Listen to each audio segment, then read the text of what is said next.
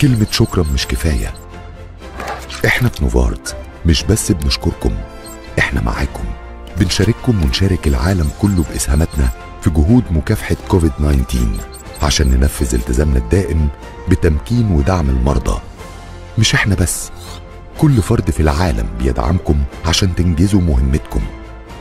كل واحد قرر يشتغل من البيت. كل واحد بيحمي نفسه وغيره بالعزل الاختياري. كل واحد بيتجنب الاختلاط. كل واحد بيبعد عن أي مصدر خطر ولو محتمل. كل واحد بيحافظ على العادات الصحية. كل دول بيدعموكم وبيشكروكم وبيتمنوا لكم السلامة.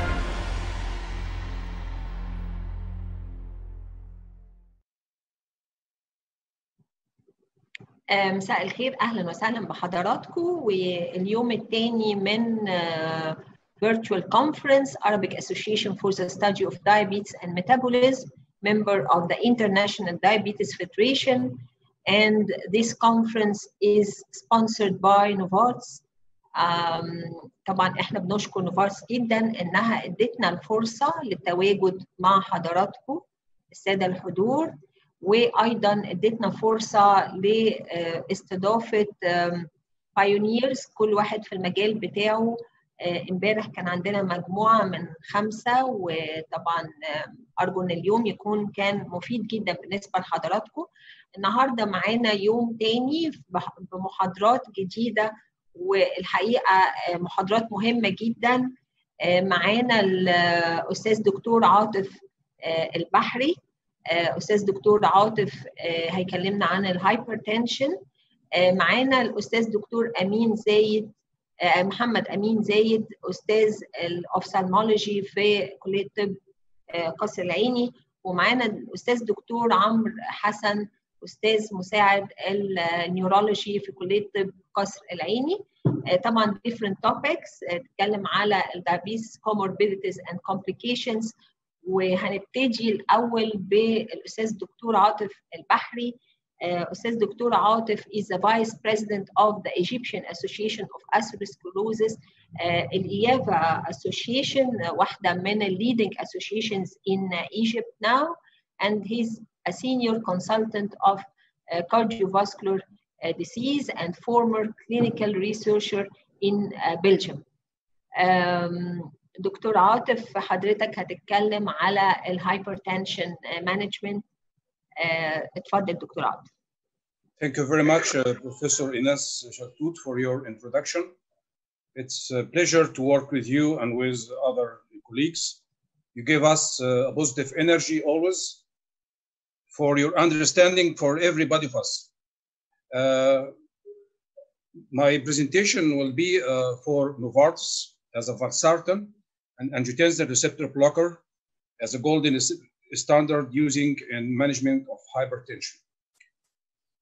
Uh, we know from the uh, 100 million wellness, 100 million صحة, that hypertension may contribute to 30% of total uh, non-communicable diseases, risk factors in Egypt. In Egypt, about 84% of total deaths is caused by the four main non-communicable diseases and 67% of premature deaths. If you see here, we can find that 7.7% of cardiovascular risk, more than 30% among uh, uh, people of, uh, of 48 years or 69 years old, and the 29.5% raised blood pressure and 15.5% raised blood glucose level, 19.2% raised total cholesterol, and 9 uh, gram salt intake. Here we know from Professor Mohsen Ibrahim long ago that poor awareness is due to the nature of hypertension as an asymptomatic disease. And the awareness of in, in Egypt is about 38%, which is very high. The people uh, treated are 24%, and the controlled only 8%, which is a disappointment on those patients who will have comorbidities and who have the risk of stroke and heart failure. If you look for the hypertension management, what uh, what do the guidelines say? We can see here for the guidelines, as we see here, the European Society of Cardiology in uh, 2018, they stated that the combination treatment is recommended for the most hypertensive patients as initial therapy. Referred combination should comprise a RAS blocker, either an ACE inhibitor or angiotensin receptor blocker with a calcium channel blocker or diuretic. The other combination of the five major classes can be used, but we have to concentrate on this combination, RAS blocker plus calcium channel blocker or diuretic, which is class 1A. It is recommended also to initiate an antihypertensive treatment with two drug combination, preferably eh, in a single pill combination. And the exceptions are for frail old people and those at low risk and with grade 1 hypertension, particularly if the systolic blood pressure is less than 150 milligram per deciliter. If we look here for the, uh, we have to start early with dual combination and we, we leave the monotherapy only in grade 1 old patient and the very old frail population. The European Society of Cardiology and Hypertension recommends using the fixed dose combination, as we see here, in order to have the simplification of the treatment and the advantages of compliance to treatment. ARB plus amlodipine, for example, valsartan plus amlodipine in one pill, or valsartan plus hydrochlorothiazide plus amlodipine in one, in one pill. And this daily pills improves the adherence which is low in patients with hypertension. The higher the blood pressure control rates are achieved with single pill combinations, as we see, because patients receiving a single pill combination are more likely to achieve blood pressure goals than those receiving four combination or monotherapy. This is a single pill, and this is a free combination. We can find here the achievement is reaching 55%. Here, it is important to give this single pill combination for the convenience, the adherence, the efficacy, the tolerability, and the, the flexibility of the medication. In patients with newly diagnosed hypertensive patients, does valsartan as, as an angiotensin receptor blocker fits uh, those patients? If we see this case, this is a 44-year-old male presented with complaints of headache and general weakness, heavy smoker, and has a family history of cardiovascular disease. Upon examination, uh, his blood pressure after three visits was 155 systolic uh, millimeter mercury and 95 diastolic millimeter mercury. He has a body mass index of 29. Laboratory tests showed normal kidney function, normal glycemic status, and lipid profile within normal. In the MESH trial, to investigate the antihypertensive effectiveness of the fixed dose combination Cotarg on blood pressure reduction in an observational general practice settings, we take about 17,000 patients, uh, mean uh, age 61 years with uncontrolled hypertension, and the pain baseline, mean baseline systolic and diastolic was 165 uh, systolic and 95 diastolic, or treated or pre-treated or untreated, treated naive. And they are followed by three months uncontrolled multi-center observational study in general practice. We see here from this study that Cotarg or valsartan plus hydrochlorothiazide, 160 milligram per deciliter, and thiazide uh, hydrochlorothiazide 12.5 provides double-digit blood, blood pressure reductions. And the results from a three months observational study, as we see here, on all patients, there is a marked decrease in systolic blood pressure by 27 uh, systolic, and the diastolic is minus 13.7 millimeter mercury. In the new patients or, uh, or the treat or the naive patient, it was decreased by minus 32 uh, millimeter mercury, and the diastolic was reduced by 16 millimeter mercury. In the pre-treated patients, the systolic here, as we see, decreases by 25 systolic millimeter mercury and diastolic by 12 millimeter mercury. We know that the pooled analysis of the nine trials showed more patients achieve the, the goals in hypertension in less time with higher doses or with combination. We can see here the Cotarg 160 milligram eh, plus thiazide can reach after eight weeks by 74% control. So using this combination in single pill can control our patient more than 74%. And with increasing the dose of the Cotaric, as you see, we can reach its control by 84% on those patients. Another patient, a newly diagnosed hypertensive patient who had comorbidities. This is a female patient, 49 year old, white woman with a history of type 2 diabetes, obesity, and migraine headaches. And the patient was diagnosed with type 2 diabetes nine years ago when she presented with mild polyuria and polydipsia. Initial treatment for her diabetes consisted of an oral metformin with most recent hemoglobin H1C of 7.4%. Two weeks ago, she presented to cardiology clinics with blood pressure 160 systolic and 95 millimeter mercury diastolic with a heart rate 70 beat per minute. One week ago, her blood pressure reading was 155 over 95 millimeter mercury. We know that there is in obese patient and diabetic patient, there is a market RAS activation happened in obesity and in, uh, in diabetes. And this RAS activation should be blocked because it will cause increase of aldosterone salt water retention, increase the effectiveness of the circulating volume, leading to increased cardiac output and hypertension. Here, the multiple antihypertensive agents are needed to reach the blood pressure goal on those patients. As we see, we have to, uh, we can use more than two drugs or three drugs in a single combination. Amlodipine and valsartan show a blood reduction across all grades of hypertension, from mild to moderate to severe, as, as we see, decreasing the diastolic from 17, 18, and 29 millimeter mercury. Here in the Exforge, or which is uh, valsartan and amlodipine, provides a powerful blood pressure reduction across diverse patients types. Here we can find the diabetic patients. There is marked decrease of the systolic blood pressure by 29.5 millimeter mercury if compared to amlodipine alone. And we can see here also in the in, in obese patients, there is marked decrease of systolic blood pressure by minus 30.2 systolic blood pressure if compared to amlodipine, which minus 22.9 we have here an, uh, an experience with the Egyptian hypertensive patient having comorbidities.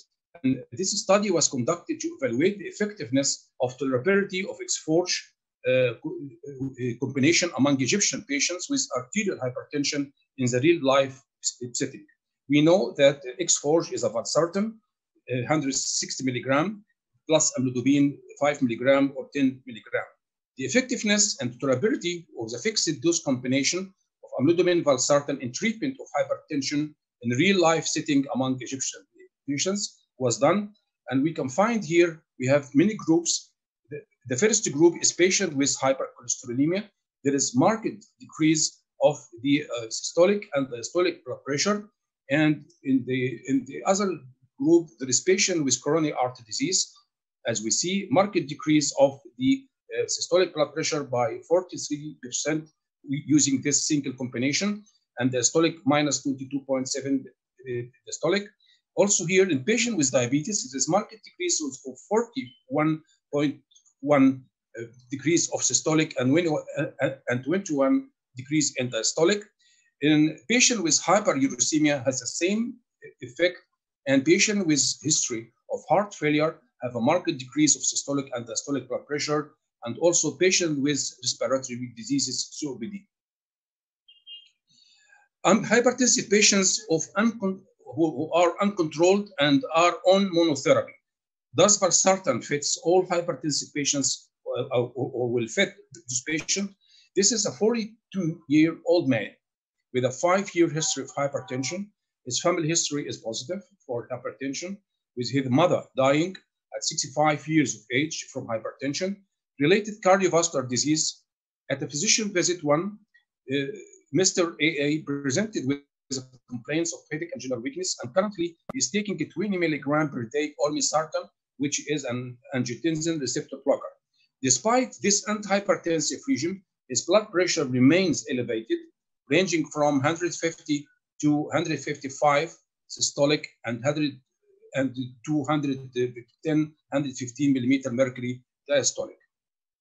We know that X-Forge in failure of single therapy study design, number of patients 80, 894 randomized double-blind multinational parallel group study, 16 weeks, mild to moderate mean blood pressure this line was 150 millimeter mercury systolic and 91 diastolic.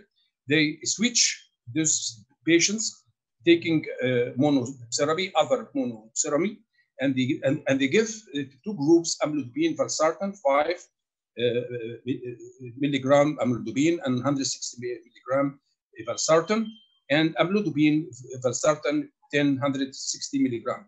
And then elective titration, if not at goal, by adding the hydrochlorothiazide 12 or 25. We can see here, these are the uh, antihypertensive classes before the randomization, people taking beta blockers as a monotherapy or calcium channel blockers as monotherapy and, and other uh, angiotensin receptor blockers as monotherapy, ACE inhibitors as monotherapy, and the diuretic as monotherapy. Here we can find that amlodipine and valsartan in both, in both groups have marked decrease of the uh, systolic and diastolic in all those patients taking the monotherapy after switching uh, them into uh, X-Forge, marked decrease of systolic and diastolic blood pressure uh, for 21 uh, mean uh, reduction. For hypertensive patients of uncontrolled on dual therapy, taking two drugs, does valsartan fits all hypertensive patients?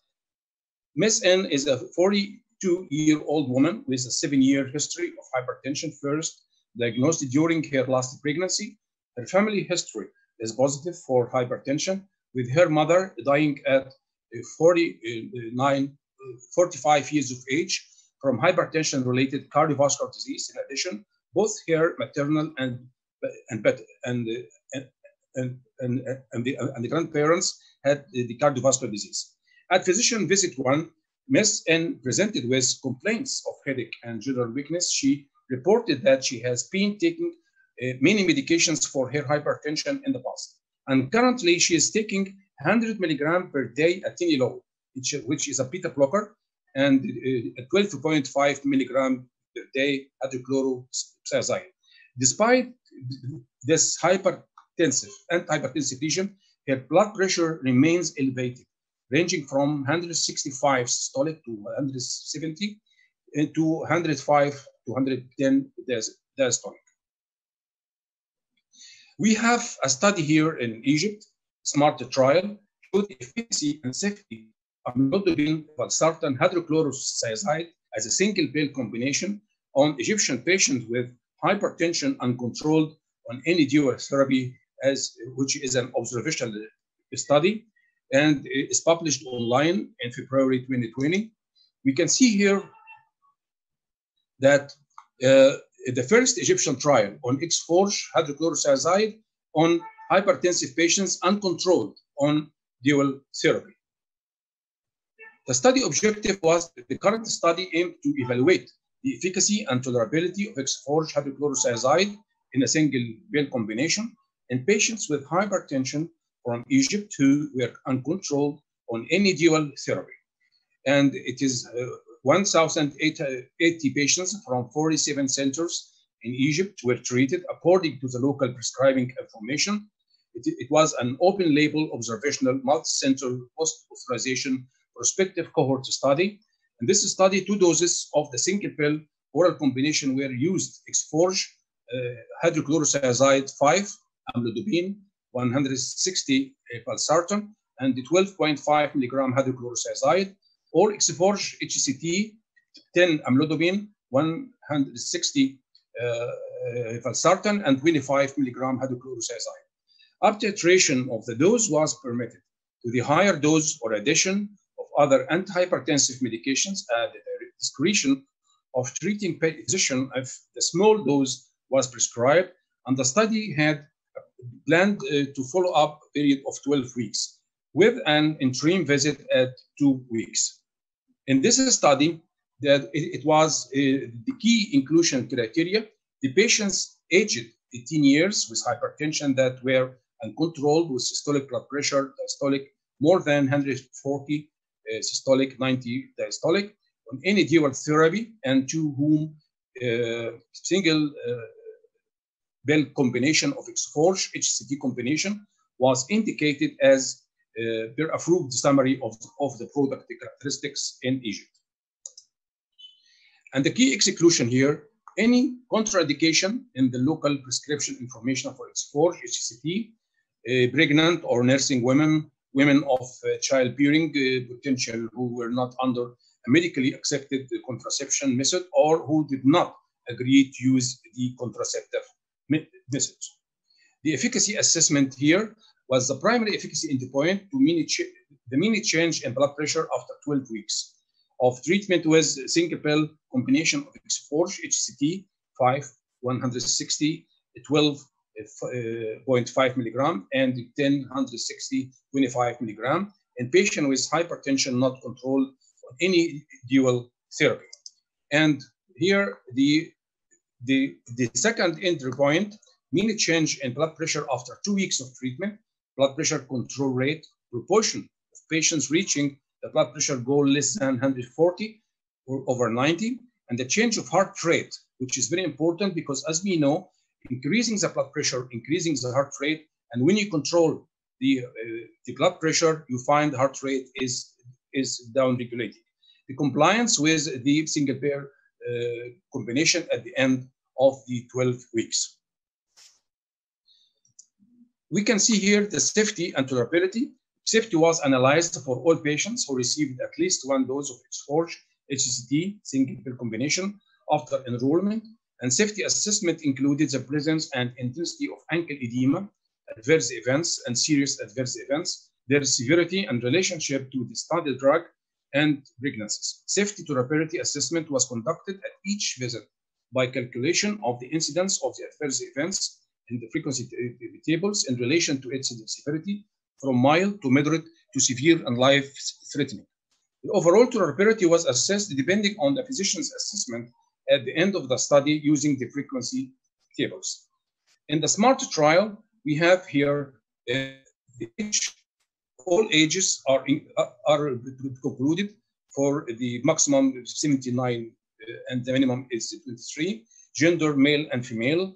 The family history of hypertension was, was high.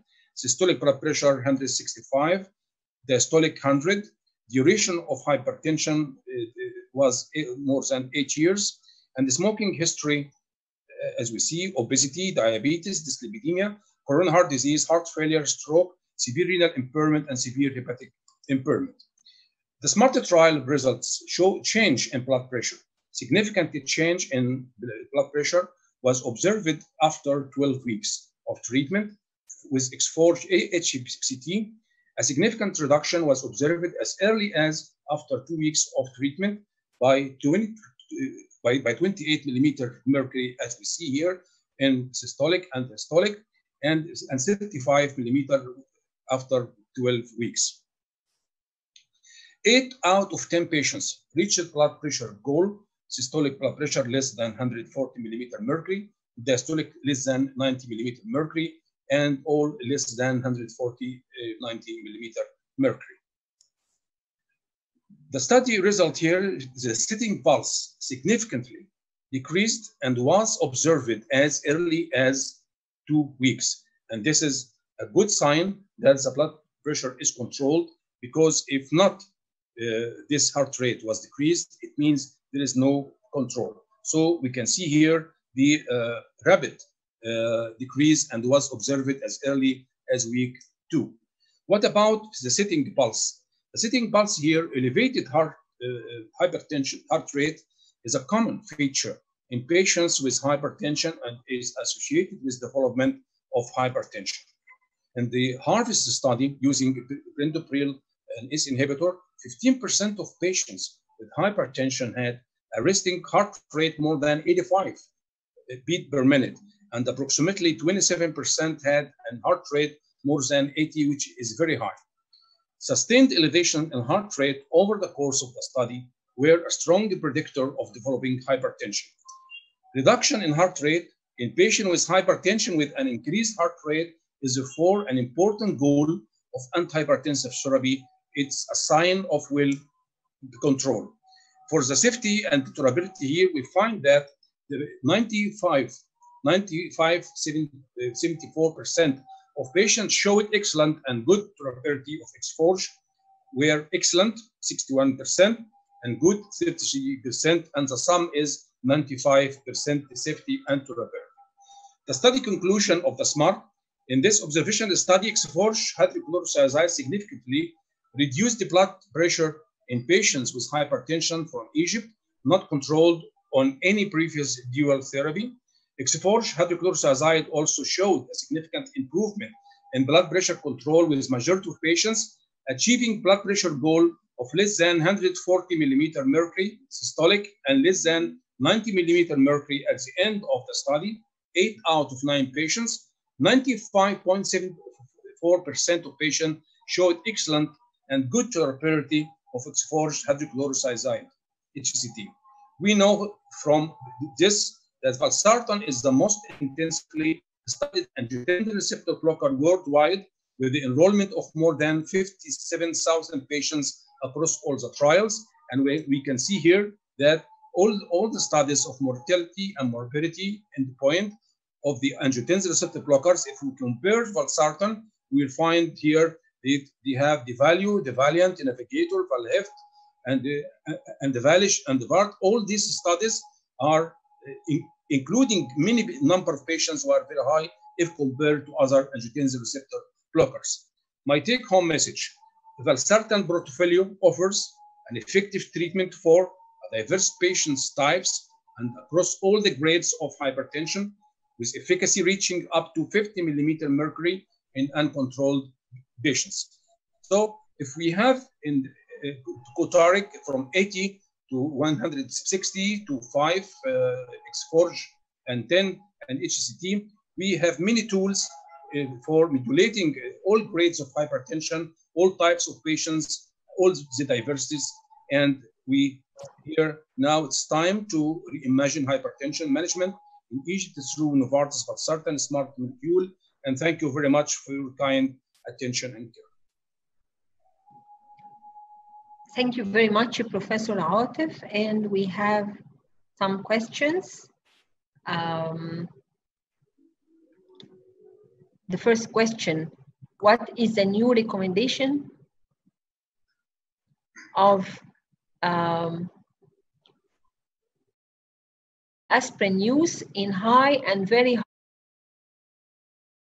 فرصة ان حضرتك معانا وموضوع الأسبرين ده مهم قوي وأنا سمعته في مؤتمر الايافا عند حضرتك و...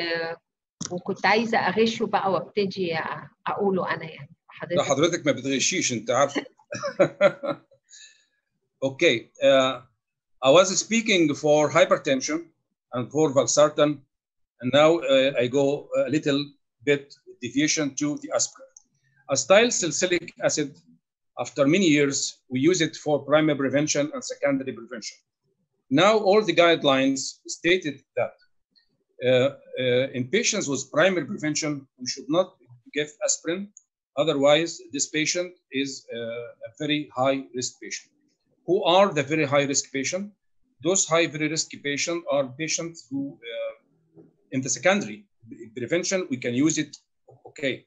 But in primary prevention, if, if this patient is a smoker, is uh, has diabetes, is uh, obese, and he, he has uh, and he has dyslipidemia or other, we can give him a statin. We can control his blood pressure. We can reduce his weight. But giving aspirin like that on the on the counter, this is this is not for primary prevention, but for secondary prevention, for high risk patient and very high risk patient who have evidence of a serious chronic cardiovascular disease, it's a must and we should prescribe it because all the trials in, in primary prevention show uh, no, no benefit from aspirin in those patients and they find that there are uh, many complications of aspirin prevention. آه في سؤال تاني مهم Uh, can ACE and ARBs be given in patients with CKD? Never ever, because all the guidelines now since uh, 2004 stated that we uh, it's a red flag in the guidelines. Never give a combination of angiotensin. Uh, لا هم مش قصدهم combination اكيد يعني قصدهم uh, individual okay. مش اه يعني انهي You- grades انهي grades of CKD انهي For انهي chronic, equal for ARBs chronic kidney disease, uh, from the uh, from the Kidney Foundation guidelines, they stated that you can you can give angiotensin receptor blockers more better than ACE. ACE inhibitors can be given to uh, uh, chronic kidney disease in patients with type 1 diabetes, according to the studies. But most of the studies wi- uh, were in two uh, in type 2 diabetes. Uh, can you must give angiotensin receptor blockers اللي هم اتعمل عليهم ال- الدراسات زي ال- ال valsartan وزي ال- اللوسارتن وزي ال- ال irbesartan هو في سؤال تاني بس الحقيقة بعيد عن ال topic بتاع حضرتك النهاردة خالص What is the approach to diagnose heart failure in diabetics?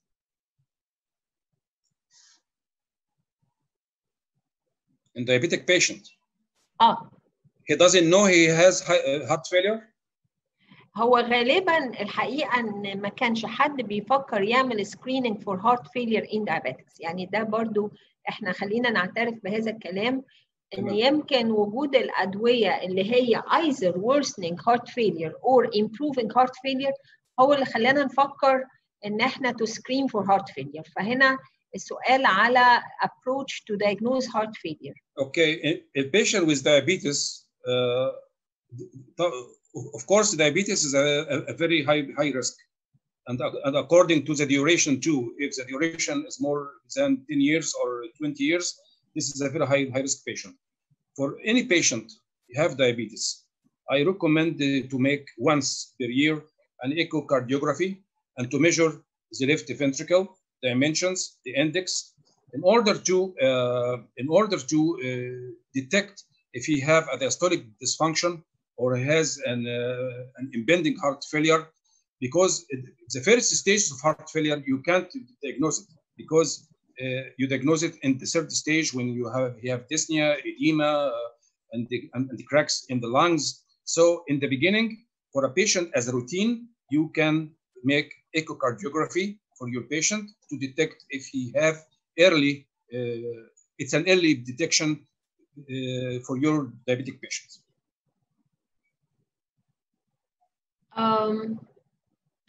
طيب هو تكملة السؤال بيتهيألي بتاع ايس or ARBs uh, to which level of GFR يعني حد بيكمل السؤال to which level of GFR the recommendations the, the, the recommendations uh, is uh, for angiotensin receptor blockers لحد جي اف ار 15 uh, لحد ما بيوصل لحد 15 وطبعا you should consult a nephrologist uh, for using uh, them. Because sometimes we find using the angiotensin receptor blockers or S inhibitors in the in these cases uh, there is a rise of serum creatinine and uh, a drop of the eGFR in the beginning. But after that we have uh, a recorrection. But we should consult a nephrologist uh, for the care of these patients آخر سؤال على الأسبرين تاني what are the hazards of using aspirin Uh, the hazards of using aspirin away from the peptic ulcer and uh, tinnitus because it affects uh, the uh, the uh, eighth nerve of the uh, of, uh, of of hearing. There is uh, marked uh, hemorrhagic strokes happen in uh, in the studies of uh, using the aspirin. أنا بشكر حضرتك دكتور عاطف وطبعا حضرتك مشرفنا مكمل معانا تشير بيرسون في الفيرتشوال كونفرنس شكرا ليك دكتور عاطف Thank you very much. Now introduce uh, Professor Ines Shaltut بنقدم بعض Professor of Internal Medicine in Cairo University and the President of uh, the Arab Association for the Study of Diabetes and Metabolism.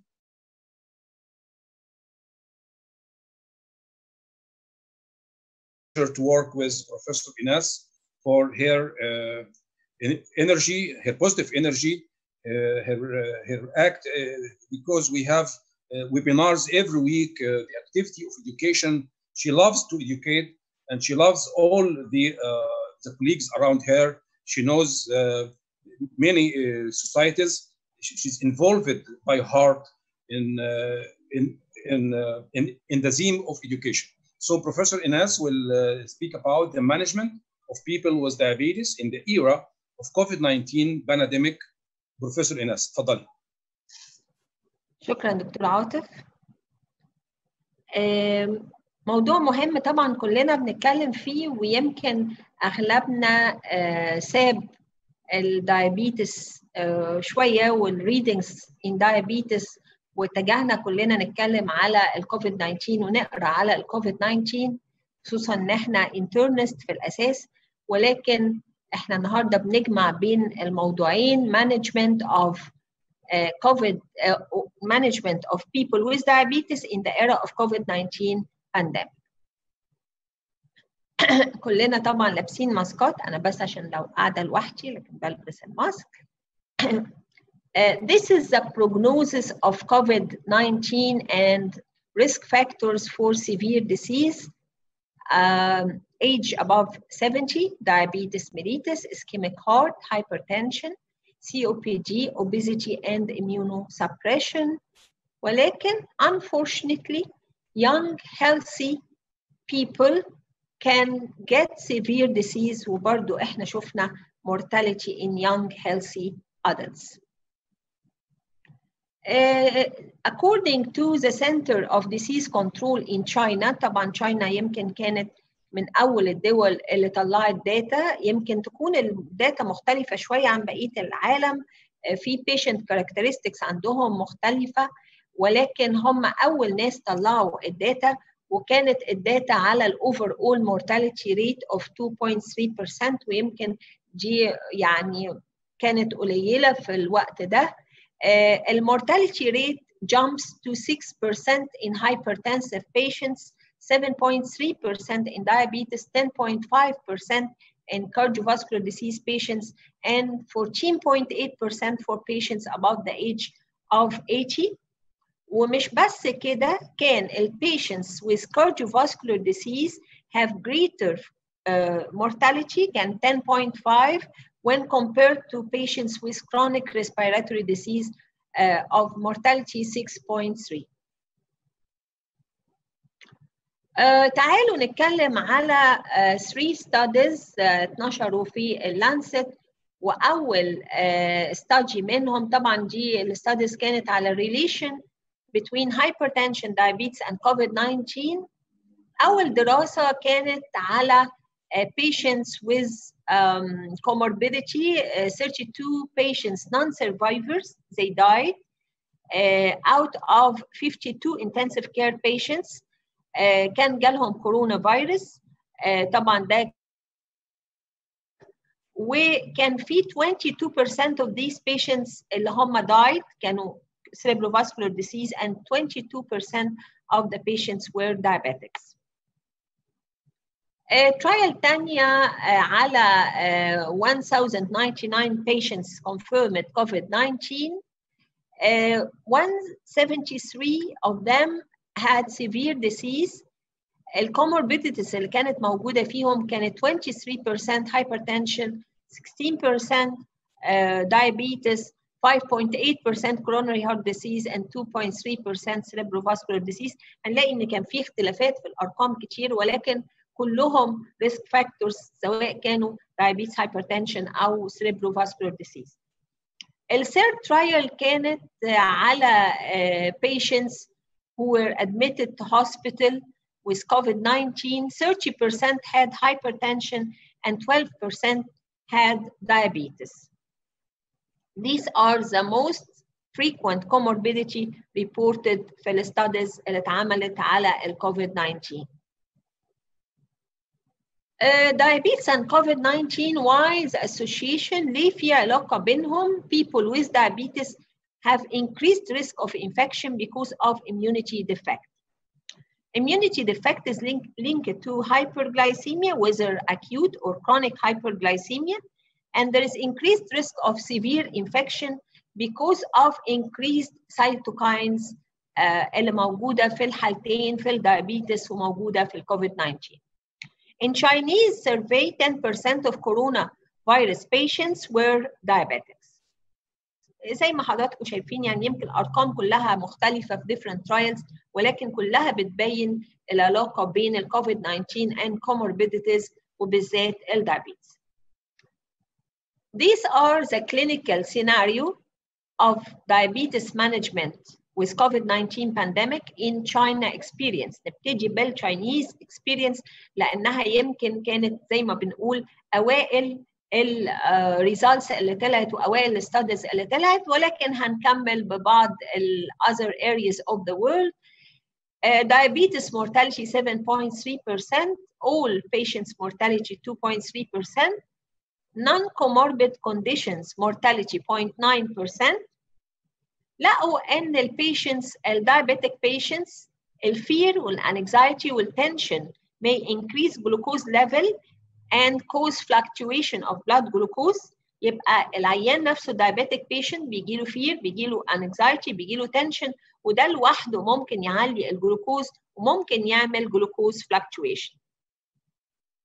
ممكن في بعض الأحيان ال patient لو كان في lockdown في حظر قاعد ما عندوش medication بشكل كافي أو due to isolation أو due even to psychological stresses أنا سمعت على patients رجعوا لي قالوا لي إحنا وقفنا خالص ال medication of diabetes يعني الناس كلها بتبقى overwhelmed بالكوفيد 19 وفي بعض الاحيان بتنسى ال chronic condition اللي موجوده عندها وبالتالي there may be an interrupted oral antidiabetic medication with uh, COVID-19. ال characteristic اللي بعدها COVID-19 causes increased inflammatory cytokines. الحاجة اللي بعدها using glucocorticoid وإحنا عارفين إن في studies جديدة على استخدام ال glucocorticoids وإن هي life saving في ال treatment of COVID-19 it causes sharp increase in hyperglycemia. بتعلي ال blood glucose بشكل جامد جدا ولكن طبعا إذا كان لازم نستخدم ال glucocorticoids يبقى لازم نظبط ال blood glucose بطرق أخرى. ال regular diet بعض الناس لما بتقعد في البيت بتاكل أكتر ساعات تاكل حاجات فيها كربوهيدرات أكتر تتحرك أقل reduced exercise uh, كل ده ممكن يعمل لي glucose fluctuation and GIT symptoms can cause glucose uh, fluctuation. وإحنا عارفين إن برضو في GIT symptoms as um, بعض السيمتومز او uh, يعني بعض البيشنتس of COVID-19 بيبقى mainly السيمتومز عندهم are GIT symptoms. Uh, في التشاينيز diabetes society ابتدت تدي recommendations for uh, diabetes management uh, during COVID uh, pandemic قالوا ان for mild and moderate non-elderly COVID-19 patients لازم اعمل لهم strict control يبقى لو كان عيان عنده COVID-19 وعنده الدايابيتس mild or moderate وعنده الكوفيد 19 mild and moderate and he's not elderly يبقى انا لازم اظبط العيان ده كويس قوي لان احنا هنتكلم بعد كده ان الميتابوليك كنترول اوف blood glucose بيحسن الاوتكم of uh, COVID-19 infection. For mild and moderate elderly or with glucocorticoids medium control targets يبقى بعلى شويه بالتارجت وبوصل لغايه ال 180 blood glucose او 200 blood glucose ولكن for severe critically ill patients for for elderly for patients prone to hypoglycemia for patients with comorbidity or organ dysfunction low glycemic target وقالوا إن إحنا ممكن نعلى بالبوست برانجل blood glucose إلى 220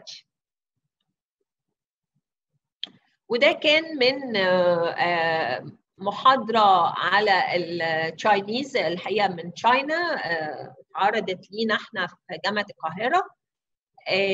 كانوا مقسمين ال patients according to different types of diabetes. تايب 1 diabetes قالوا انه يفضل طبعا ان هو يبقى انسولين بامب لو ما فيش انسولين بامب هيبقى بيزل بولس انسولين ريجيم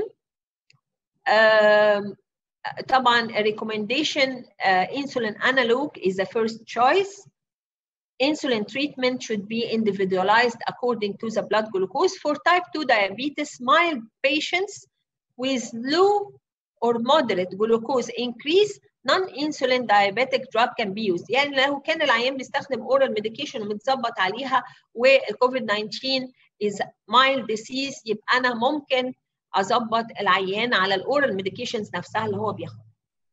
For patients with fever or treated with glucocorticoid, insulin treatment is the first choice. لو في fever لو في استخدام للجلوكوكورتيكويد يبقى لازم ادي insulin. For critically ill patients of type 2 diabetes, intravenous insulin is recommended. هنعرف كمان شوية ليه الانترافينوس insulin ولكن مع استخدام الجلوكوكورتيكويد associated diabetes اذا كان هيعلي البلاد جلوكوز يبقى لازم ادي انسولين uh, is the first choice.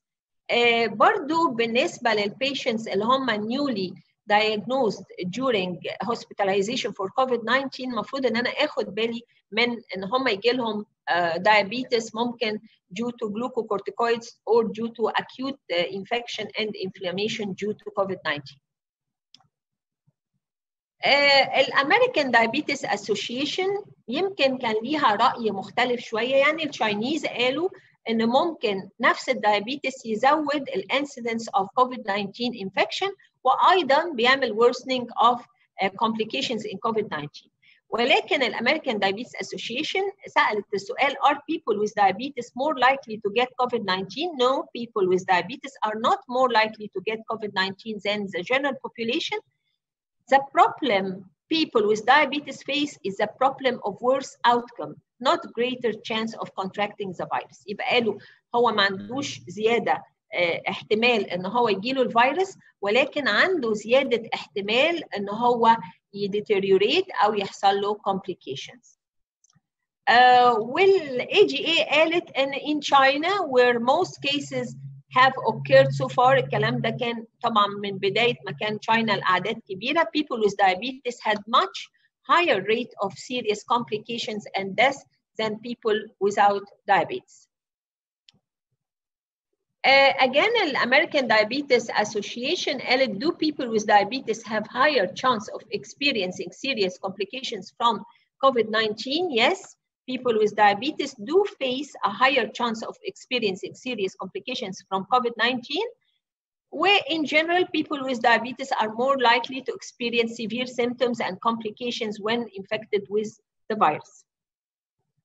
ولكن قالوا uh, كلام uh, يطمن شوية if diabetes is well managed, the risk of getting severely sick from COVID-19 is about the same as general population يعني بينصحوا طبعا المرضى إن هم يظبطوا نفسهم كويس وبيقولوا لو كان العيان متظبط كويس يبقى فرصه إن هو يجي له comorbidity أو complication من الكوفيد 19 زيها زي الجنرال population.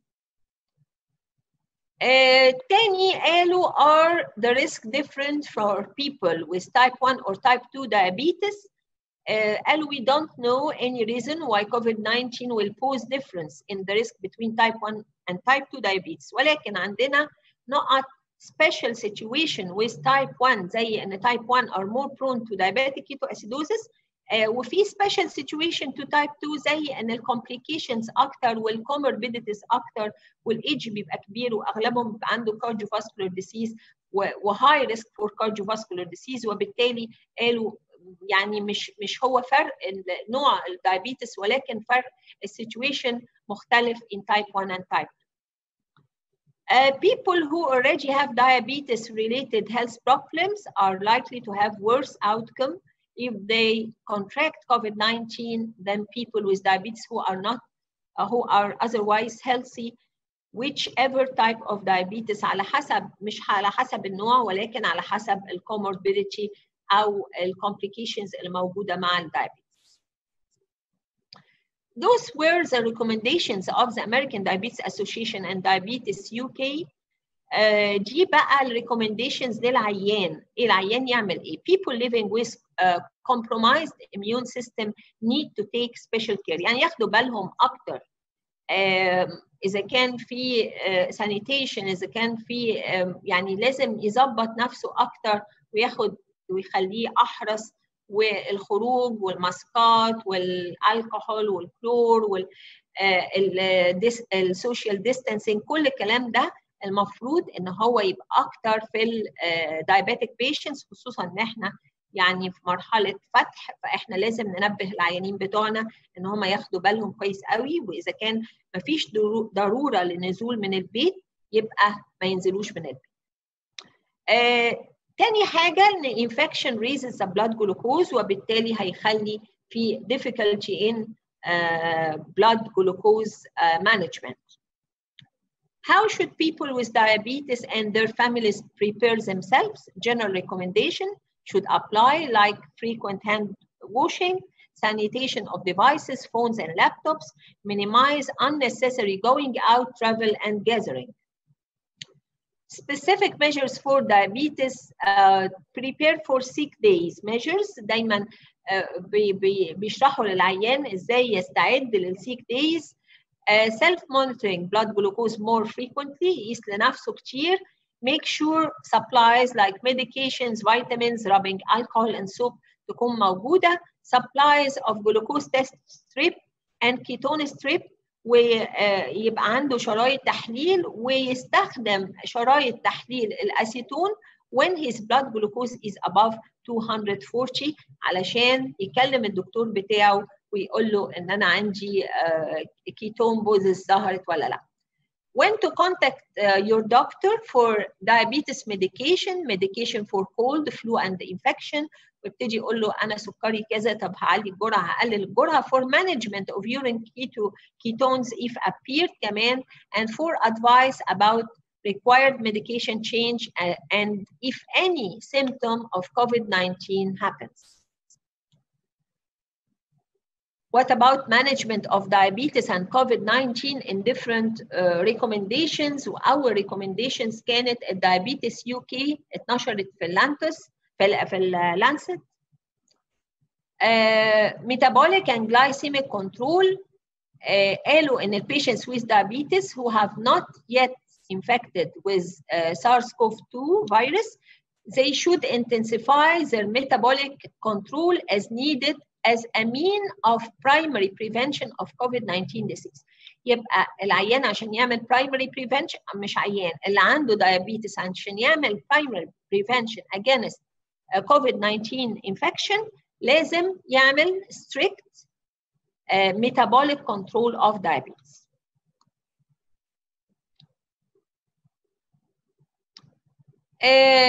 كمان الدايابيتس يو كي يمكن آه حطت recommendations and consensus recommendation for COVID-19 and the metabolic disease بالنسبة للout patient care to prevent infection in diabetes optimization of current therapy if appropriate caution العيان ما يوقفش الأدوية بتاعته يستخدم التلي ميديسن Uh, to contact the health model if possible uh, to maintain maximum self uh, containment يبقى العيان يحافظ على نفسه كويس قوي ويكلم ال healthcare professional اللي هو بيعالجه by telemedicine أو يكلمه بالتليفون أو بأي طريقة.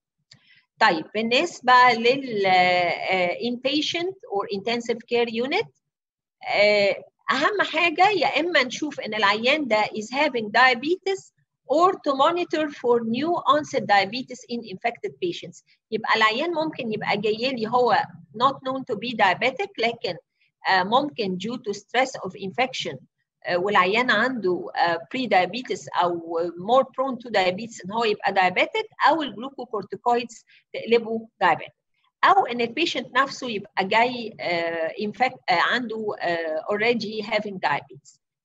هنعمل plasma glucose monitoring electrolyte pH blood ketones hydroxybutyric acid indication of early intravenous insulin therapy in severe uh, courses. يبقى بنستخدم ال intravenous insulin في ال severe courses of COVID 19 infection زي ال ARDS أو ال hyperinflammation عشان نعرف نعمل titration كويس and to avoid variable subcutaneous reabsorption أو resorption. يبقى أنا عندي ال patients دول ممكن يبقى عندهم variable subcutaneous absorption of insulin. عشان كده بيفضل ال intravenous insulin آه بالنسبة لل therapeutic aims ال fasting plasma glucose بين 72 to 144 بالنسبة آه لل postprandial blood glucose up to 180 hemoglobin A1C less than 7% طبعا عندهم يمكن ال CGM سهل إحنا عندنا صعب شوية. آه و to avoid hypoglycemia less than uh, 4 millimole اللي هي 70 ملي جرام per deciliter. ال Diabetes UK برضو نشرت في ال Lancet في ال Lancet 2020 uh, نشرت ال medications إيه اللي هي preferred during COVID-19 infection وايه اللي not preferred وأول حاجة على الميتفورمين قالت ان الميتفورمين ممكن dehydration lactic acidosis will probably occur if patients are dehydrated. So patients should stop taking the drug and follow sick day rules. Uh, during illness, renal function should be carefully monitored because of the high risk of chronic kidney disease or acute kidney injury. يبقى هم كانوا بيقولوا يفضل ان احنا نوقف الميتفورمين uh, عشان البيشنتس عندهم uh, may have lactic acidosis uh, لو كان في dehydration الحاجة الثانية إن إحنا during الإلنس لازم نعمل checking for renal function و chronic or acute kidney injury is a high risk. بالنسبة للصوديوم جلوكوز كو ترانسبورتر 2 inhibitors should be stopped uh, during um, uh, hospitalization or during moderate or severe uh, disease of COVID-19 أو to be avoid initiating the therapy uh, during respiratory illness يبقى لو كان العيان عنده diabetes وعنده mild or moderate disease لسه ما دخلش المستشفى بوقفه طبعا لو دخل المستشفى يبقى هنشوف إيه ال medications اللي بتتاخد ولكن لو كان العيان عنده respiratory illness بوقف ال SGLT 2 وأعمل careful monitoring of renal functions for the possibility of acute kidney injury بالنسبة لل SU sulfonylurea just follow up to control blood glucose over the 24 hours. يبقى أنا بيسمح باستخدام السلفونيليوريا ولكن ناخد بالنا من ال blood glucose كويس ال glitazones هنعمل follow up ولكن we will stop if respiratory symptoms لأن إحنا عارفين إن ال glitazones ممكن can induce heart failure بالذات إن إحنا عارفين عيانين الكوفيد 19 ممكن يجي لهم myocarditis أو myocardial injury والحاجة الثانية ال diabetics ممكن يبقى عندهم cardiovascular disease and more prone to heart failure. بالنسبة لل glucagon like peptide 1 receptor agonist مش بيفضلوا قوي لأن patients may have dehydration. ال patients كمان محتاجين إن ياخدوا regular meals. فإحنا عارفين إن إن هم بيقللوا ال appetite. عشان كده أنا محتاجة إن الدواء ياخد إن ال patient ياخد fluid وياخد uh, regular meals. وبالتالي طبعا كل ال medications اللي بتتوقف دي بتتوقف لفترات العلاج فقط. لكن لما العيان uh, بيتصلح ممكن يرجع لل medications تاني بدون أي مشاكل. على ال dipeptidyl peptidase inhibitors كل الأنواع ال vildagliptin sitagliptin saxagliptin linagliptin alogliptin قالوا these drugs are generally well tolerated and can be continued. بيسمحوا باستخدامهم ده كلام ال Diabetes UK وقالوا كمان this is established by the VERIFY uh, trial أو VERIFY study. وإحنا يمكن اتكلمنا عليها امبارح باستفاضة. بالنسبه للانسولين ثيرابي should not be stopped لو كان العيان بياخد انسولين من الاول but adjust the insulin dose according to the requirements. Um, نيجي للاي جي اي 2020 uh, most COVID-19 related consensus statements recommend stopping metformin and SGLT2 inhibitors during acute illness and following the sick day rules. Dipeptidyl peptidase inhibitor, GPP4 inhibitors, glucagon-like uh, GLP-1 receptor agonist and insulin are preferred option in particular for hospitalized patients. يبقى هم بس اختلفوا هنا ان الدايبيتس يو كي قالت دي بي بي 4 وانسولين هنا قالوا جي بي بي 4 وجي ال بي 1 receptor agonist and insulin.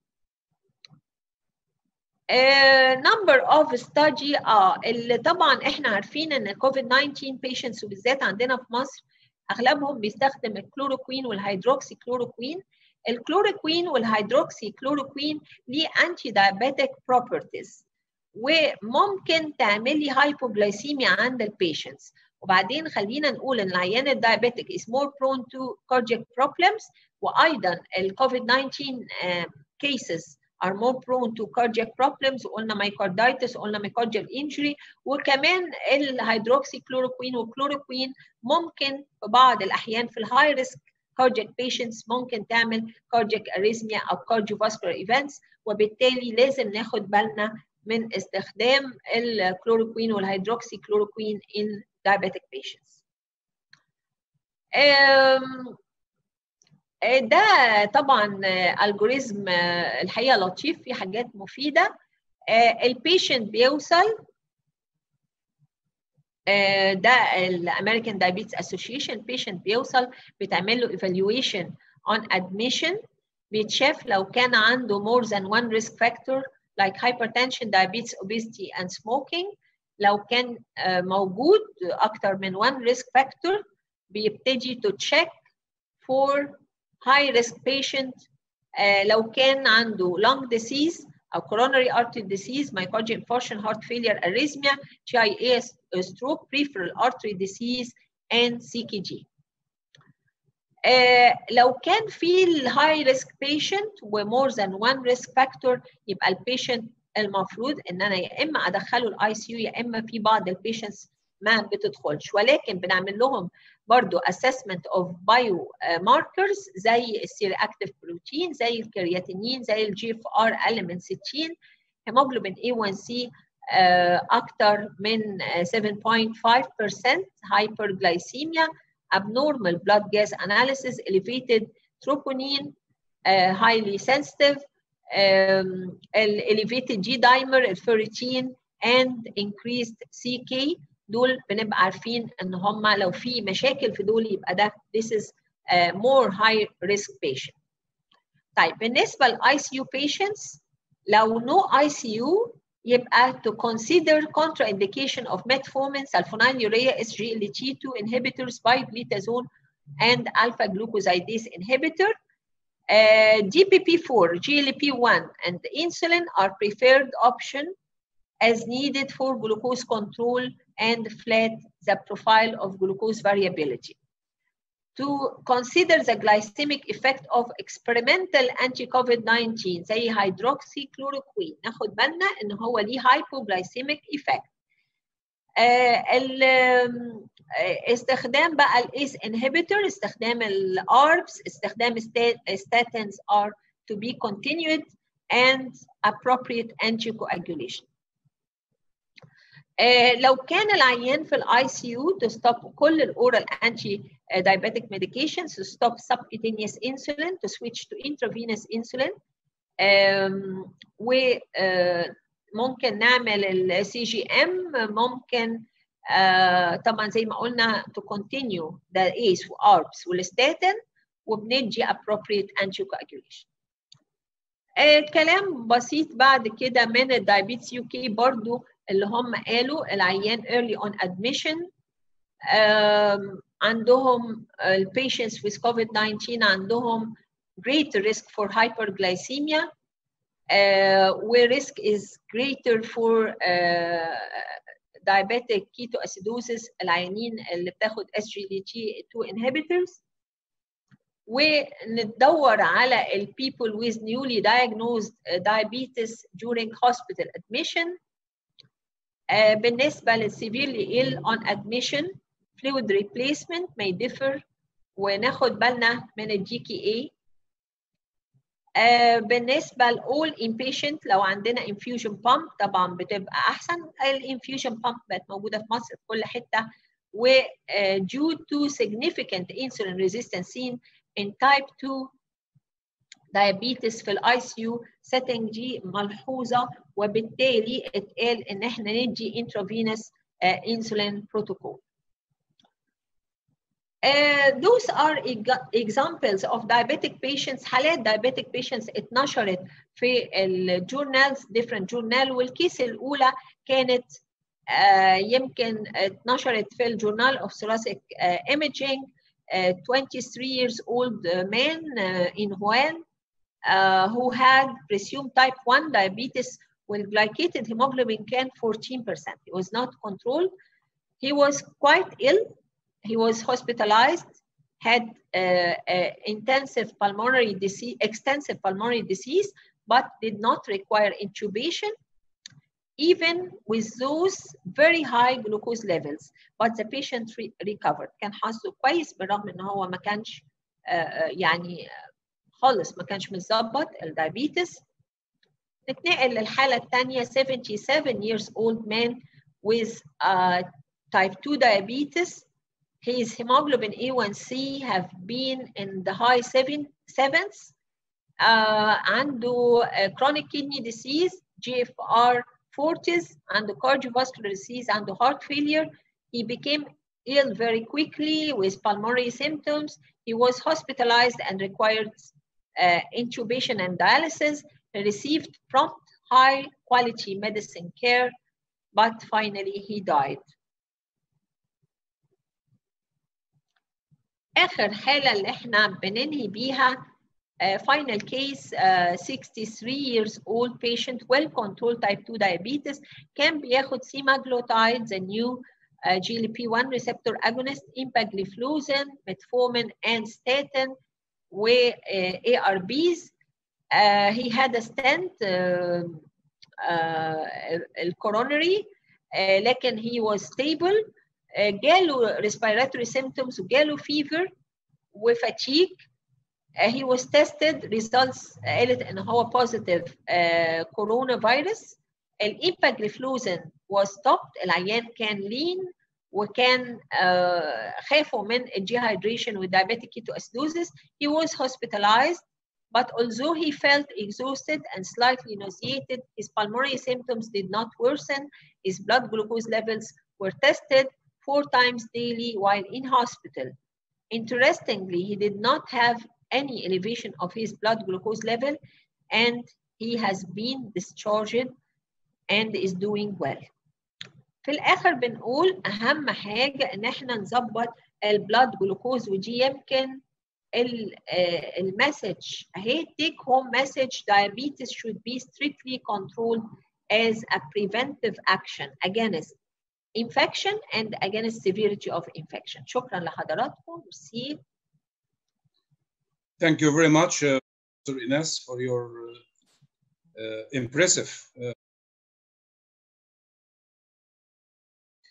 I read many questions from the uh, audience, uh, and I make a filter because the some are like similar. I'd like to ask you uh, to conclude in in a sheet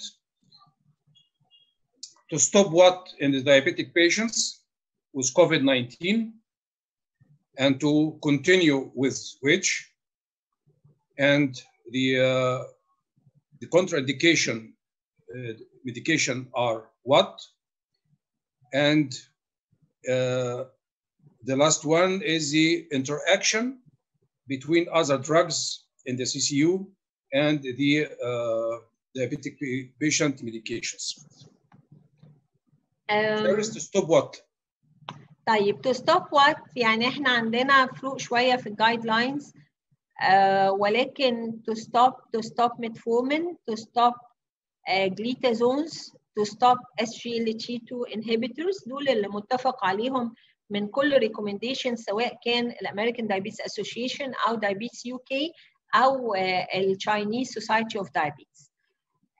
بقيه ال medications كان فيهم اختلاف between different societies أو different associations لو كان العيان mild case وموجود في البيت well controlled على ال oral anti-diabetic medications يبقى أنا بخليه موجود عليها وبخليه يحلل frequently لو كان العيان moderate case أو hospitalized المفروض إن أنا أبتدي أدي انسولين بالذات إذا كان في glucocorticoid use أو في ال cytokines عاملة severe infection ومعليالي ال blood glucose يبقى أنا لازم أبتدي أدي انسولين وقالوا إن في ال severe conditions إن أنا لازم أدي intravenous insulin عشان ال absorption of subcutaneous insulin بيبقى فيه مشكلة والحاجة الثانية اللي بيبقى فيه resistance to the insulin action. آه بعد كده في سؤال ده سؤالي أنا بقى. We know that uh, the COVID-19 is a cytokine storm that causes thrombosis and uh, it, it kills. Uh, how hyperinsulinemia and diabetes provoke this cytokine storm? Um,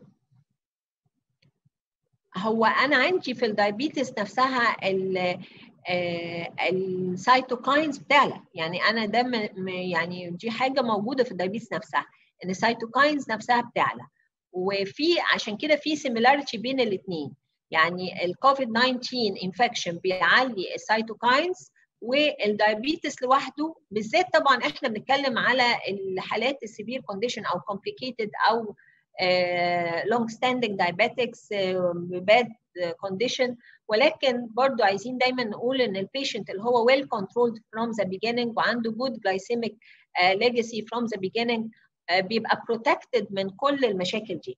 فالاثنين مع بعض بيعلوا cytokines بيعلوا الاثنين واضح إن هم بيعلوا ال severity أنا عندي يمكن من كام يوم ثلاث أربع أيام studies قالت إن 40% of the mortality in COVID-19 they are diabetics. يعني رقم طبعا كبير ويخض يمكن أعلى من كل الأرقام اللي إحنا شفناها.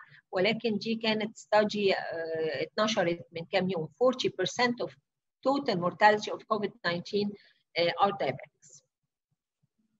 Okay, uh, what is the safest oral anti-diabetic medication? Oral? chronic kid, what is the safest Ah. oral anti-diabetic uh, medication used in chronic kidney disease stage 3 and 4? احنا عندنا طبعا عندنا كذا حاجه الحقيقه عندنا بعض الجي بي بي 4 inhibitors they are safe and can be used even with reduction of dose. بنقلل ال dose وبنديهم مفيش أي مشاكل. عندنا حاجة زي ال gliclazide ال gliclazide is safe و can be used up to حتى ال dialysis ففي طبعا ال glitazones are safe وممكن نديهم برضه. فدول ال oral anti-diabetic medications ممكن أستخدمهم في حالات ال CKD even with um, يعني جي اف ار واتشا وبعضهم كمان ممكن يستخدم حتى even في دايلس امبارح كان Last عندنا question. محاضره كامله Last question is uh, what is uh, the main cause of, uh, of death in COVID-19 patient with diabetes? آه، هيقني ما أعرفش ريسبيراتوري أكيد ريسبيراتوري ال severity of the infection إحنا قلنا إن هم ال patients with كوفيد 19 أغلبهم بيموت من ال severity of the chest disease وفي حاجات طبعا cardiac يعني يمكن كنا نحب ناخد محاضرة على الموضوع ده من حضرتك على الكوفيد 19 وال cardiovascular complications وال myocarditis وال myocardial damage اللي ممكن تحصل في الكوفيد 19 الحاجة الثانية ال ال ال blood ال complications اللي ظهرت أخيرا بعد ما الناس كانت متخيلة إن هو inflammation و bronchopneumonia ان هو طلع لا ان هو طلع thrombosis آه وبالتالي ال patients لازم ياخدوا anticoagulation uh, سواء كانت ال newer generation of anticoagulants أو ال ال الكليكسان الهيبرين. Yes.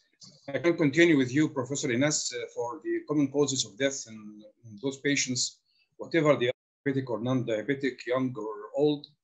The, the problem is the, uh, the invasion and the cytokine storm causes myocarditis, uh, myocardial damage, uh, uh, causing heart failure, and, uh, and then sudden death, plus the pulmonary embolism and the, the, the VTE that happened on those patients, and the macrothrombi that occurs in the pulmonary arterioles. So it's a complex syndrome that uh, that kills, and uh, before the uh, oral the the Clexane or low molecular heparin or heparin should be given, and to we, have to, to stop this cytokine storm by dexamethasone, as you mentioned, and it depends now how much this patient is exposed to the to the COVID virus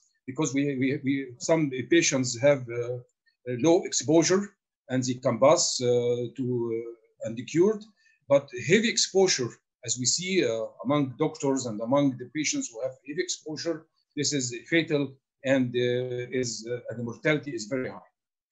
Dr. Anas, thank you very much for your lecture, and I, I, I give you the the mic to introduce our colleagues. Thank you.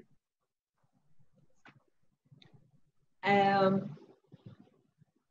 now we have the pleasure of uh, having a lecture of Professor Amr Hassan. Professor Amr Hassan is an assistant professor Faculty of Medicine, Cairo University, and he's going to talk about updates on management of diabetic neuropathy. Uh, Professor Amr, uh, اتفضل بسم الله الرحمن الرحيم.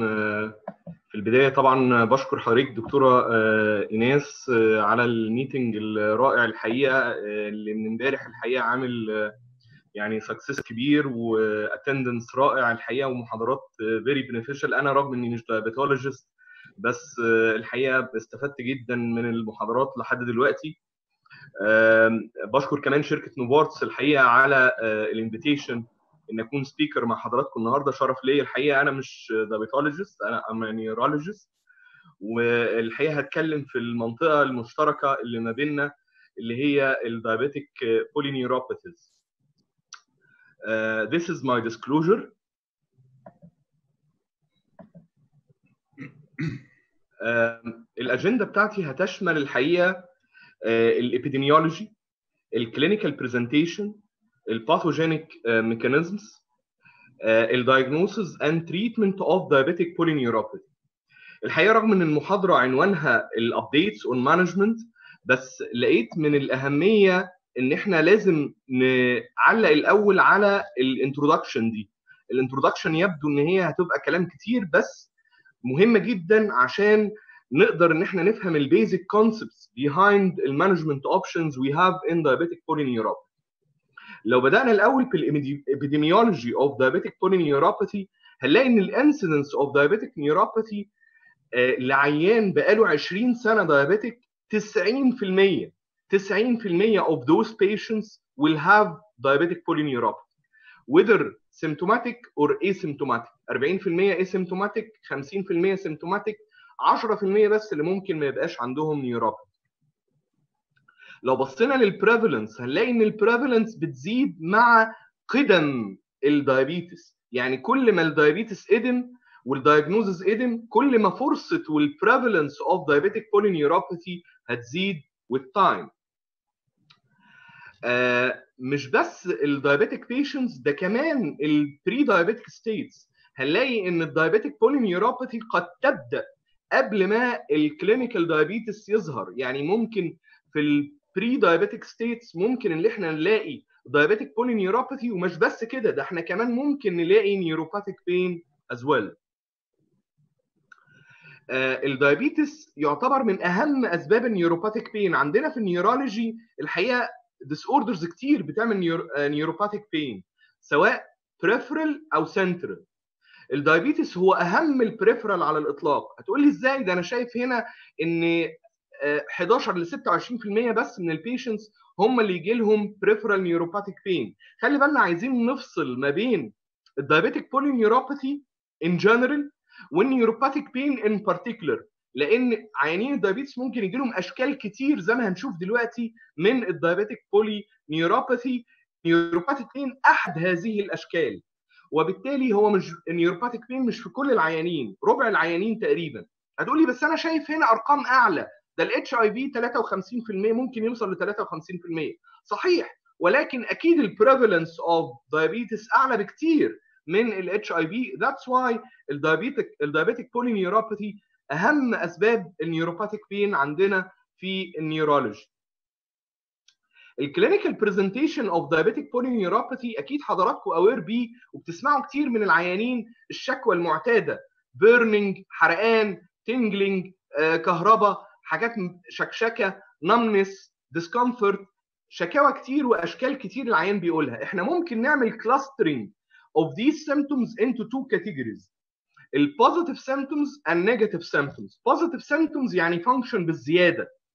فيبقى في pain allodynia hyperalgesia dysesthesia paresthesia negative زي ال hypoesthesia anesthesia hypoalgesia analgesia بالمناسبة دول مش مترادفات. كل واحدة والثانيه في بينهم tiny differences بس ده بره ال scope بتاع المحاضرة إن أنا أشرح الفرق ما بين الترمينولوجيز اوف uh, uh, uh, diabetic polyneuropathy. ال course بتاع ال diabetic polyneuropathy أو neuropathic pain هنا بيمشي positive symptoms طالعة نازلة. يعني نلاقي positive symptoms عندنا طالعة نازلة بهذا الشكل. ونلاقي كمان زي ما إحنا شايفين هنا ال negative symptoms بادية من بدري قوي. يعني ال negative symptoms are creeping from the very early beginning.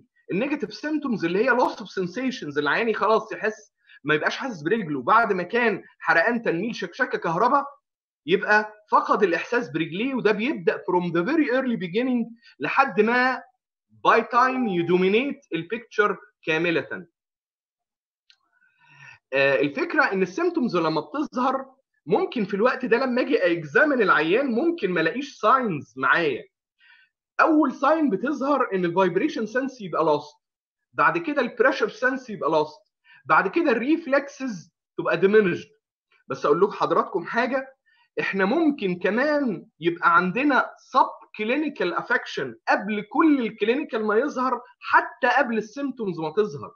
عن طريق ال nerve conduction studies إن أنا ممكن ألاقي subclinical affection بال nerve conduction studies ال types of diabetic neuropathies كتيرة.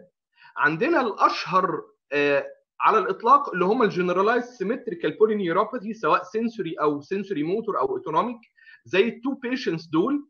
لكن الثلاثه patients دول بيفكرونا دايما إن عندنا other forms of diabetic polyneuropathy زي ال focal أو ال multifocal neuropathies cranial neuropathies العيان اللي جاله facial palsy نقول عليه Bell's. لا ده مش Bell's. طالما diabetic ده cranial neuropathy نتيجة ال diabetes. عيان جاله third nerve palsy وجاله diplopia. ده لو هو diabetic ده diabetic neuropathy. عيان عنده carpal tunnel syndrome carpal tunnel syndrome برضه لو هو diabetic it's type of diabetic neuropathy. truncal affection focal limb affection diabetic amyotrophy عيان ممكن ي present CIDP like chronic inflammatory demyelinating polyneuropathy ال American Diabetes Association قسمت ال diabetic neuropathies into مجموعه ثلاث مجموعات كبار. diffuse neuropathy و mononeuropathy و radiculopathy and polyradiculopathy ال diffuse أشهرهم طبعا هو ال diabetic ال diffuse symmetrical polyneuropathy ال diffuse symmetrical ده ممكن يبقى small fiber أو large fiber أو ميكس هتقول لي مين ال small fiber ومين ال large fiber جاية لنا في خلال دقائق ال autonomic كلكم aware بيه أكيد ال الكارديوفاسكولار الجاسترو انتستينال اليوروجينيتال السودوموتور المونونيوروباثي زي ما قلنا carpal tunnel facial nerve palsy oculomotor nerve palsy radiculopathy زي ال truncal polyradiculopathy وفي كمان non-diabetic neuropathies common in diabetes زي ال pressure palsy زي ال painful neuropathy اللي يحصل treatment induced بعد الانسولين مثلا. ال pathogenic mechanisms underlying the diabetic polyneuropathy والحتة دي الحقيقة من الحتت الغلسة شوية. غلسة علينا إحنا حتى ك neurologist. لأن فيها حتة neuroscience غلسة شوية. في عندنا كذا كذا pathway يفسر ال diabetic polyneuropathy زي ال polyol pathway ال hexosamine pathway ال protein kinase C pathway وال AGE pathway ال polyol pathway اللي بيحصل فيه سكر عالي دخل جوه ال nerve. السكر العالي بال aldose reductase اتحول إلى سوربيتول ال membrane بتاع ال nerve is impermeable لل sorbitol. السوربيتول اتحبس. اتحبس جوه هيزود ال osmotic pressure وبالتالي هيؤدي إلى nerve damage وممكن يؤدي إلى capillary damage as well ال hexosamine pathway لو حصل glucose shunting عن طريق ال hexosamine pathway ده ليه damaging effect على ال neuron. ال protein C kinase ال protein C kinase ده لما هيبقى activated هيقلل حاجة بتغذي ال nerve اسمها myoinositol لما يقل ال nerve ما بيبقاش يتغذى. يزود ال osmotic damage يقلل كمان ال nitric oxide ال AGE pathway اللي هي advanced glycated end products لما تزيد برضه هت add into the neuropathy زي ما إحنا شايفين هنا ال hyperglycemia هتعمل آه ال damage ده ممكن كمان عن طريق ال oxidative stress تقلل ال nitric oxide اللي هو vasodilator هتقول لي vasodilator لمين؟ vasodilator لل vasa nervosum وبالتالي ال vasa nervosum ما بقاش فيه اللي بيوسعها فبقت ضيقة وبالتالي بمرور الوقت تقفل. ولما تقفل يحصل ischemia ال cytokines ال pro-inflammatory cytokines تزيد. ال growth factors تقل. كل ده يؤدي في الآخر إلى peripheral neuropathy آه ال pathogenic mechanisms دي كلها نتيجة ال hyperglycemia بس ال hyperglycemia مش ال only player في ال pathogenic mechanisms عندنا كمان ال insulin deficiency في type 1 diabetes الأصفر ده type 1 وعندنا ال insulin resistance in type 2 diabetes وعندنا ال dyslipidemia in type 2 diabetes وبالتالي عندي other mechanisms are involved in the pathogenesis of diabetic polyneuropathy. وبالتالي بعد ما تحصل كل ال mechanisms المنيلة بنيلة دي كلها يحصل ال normal nerve يبقى damaged nerve damaged ليه؟ عشان عندي occluded vasa nervorum ال vasa nervorum قفلت وبالتالي ال nerve ischemic وطالما ischemic هيوجع وهيعمل pain وكمان هيبقى damaged ويحصل loss of myelin ال myelin اللي مهم جدا بالنسبة لل nerve ليه؟ عشان هو المسؤول عن ال conduction مش بس ال myelinated nerves وال unmyelinated nerves. هتقول لي إيه موضوع ال myelinated وال unmyelinated ده؟ هقول لحضراتكم إن إحنا عندنا هنا في ال nerves انواع. عندنا نوع اسمه alpha A alpha؟ A beta؟ A delta؟ C. هتقول لي لا أنت بتقول كلام صعب. لا مش كلام صعب ده كلام سهل جدا. ال A alpha ده مسؤول عن ال proprioception وتخين ومجعلص وحواليه myelination كتير. وعشان المايلين مسؤول عن ال conduction velocity إذا هو سريع جدا في ال conduction زي الطيارة. ال A beta مسؤول عن ال touch. وبرضه myelinated بس سرعته أقل شوية. racing car زي ال racing car عربية السبق. ال A delta مسؤول عن ال transmission of pain ولأنه أقل وأرفع فهو عامل زي البسكليته كده. يعني بيجري بس بطيء برضه. ال C ده بقى بطيء بطء السنين. ليه بطيء بطء السنين؟ لأنه مش myelinated ما حولهوش مايلين أصلا. اللي بيسرع ال nerve impulse وبالتالي عامل زي ما يكون واحد ماشي على رجليه. هتقول لي طب إيه علاقة الكلام ده بال diabetic polyneuropathy إن أنا عندي هنا ال A delta وال C هم المسؤولين عن ال pain transmission هتقول لي إيه الفرق بينهم؟ الفرق بينهم زي ما إحنا شايفين هنا إن ال A ده عشان حواليه شوية مايلين يخلوا ال nerve impulse تسرع مسؤول عن ال initial sharp brief pain لكن ال second pain اللي هو ال dull المستمر اللي بيكمل معايا اللي مسؤول عنه ال C البطيئه بطء السنين. يعني بمعنى أصح لو واحد اتخبط خبطة جامدة اللي هيحس بال initial خبطة الخبطة الأولانية بألمها هو ال A delta توصله بسرعة.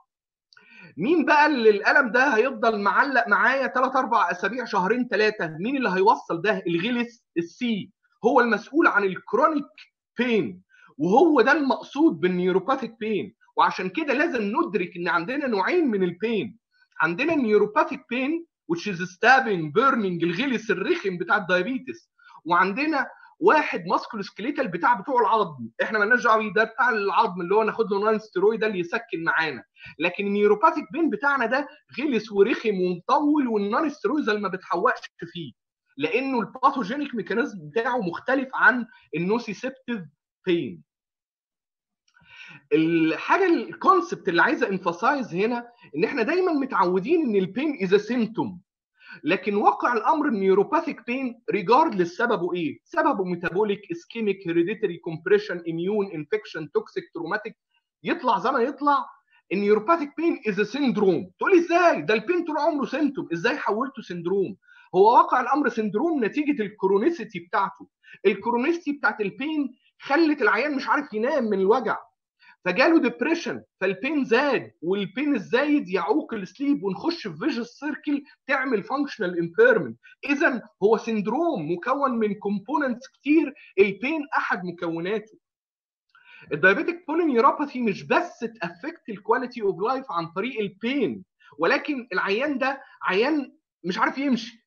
من ال sensory impairment فممكن يبقى عنده sensory ataxia ممكن يبقى عنده weakness ال weakness يوقعه. ولو كبير في السن يحصل له fracture وممكن يحصل له traumatic brain injury ممكن تزيد المورتاليتي الفوت السرز الانفكشنز السيرجرز والامبيوتيشن كل دي impact رهيب للدايابيتك بولينيوروباثي الفيجر ده الحقيقة بيلخص ال pathway بتاع ال pain transmission الألم حسيته هنا من ال ischemic nerve اتنقل لل spinal cord لل dorsal root ganglia ومنها لل dorsal horn ويطلع لفوق لل lateral spinothalamic tract لل thalamus ومن ال thalamus لل cortex pain pain pain pain pain طول الوقت لحد ما يحصل حاجة اسمها central sensitization ال centers تبقى very sensitive to pain تبقى very excitable to pain يا عم كفاية بقى حرام عليك كل ده pain عايز توصله لي. زهقت من ال pain فال brain يدافع عن نفسه وي defend himself يقول إيه؟ أو herself يعني itself عشان ما حدش يزعل. آه ال brain يدافع عن نفسه ويقول إزاي كل ده pain أنا هبعت descending modulation عشان يقلل ال pain عشان كفاية pain ولكن مع مرور الوقت حتى ال descending modulation ده يبقى impaired فمش عارفين نوقف ال pain ال descending modulation ده جاي منين؟ جاي من ال cortex جاي من ال hypothalamus جاي من حتة اسمها ال brain stem وال periaqueductal gray matter وال medulla وال pons وتحديدا عشان نبقى يعني أدق أكتر جاي من ال frontal lobe من ال dorsal فرا... ال dorsolateral prefrontal cortex نبعت opioid opioid حاجات تعمل دماغ نسكن بيها الألم شوية.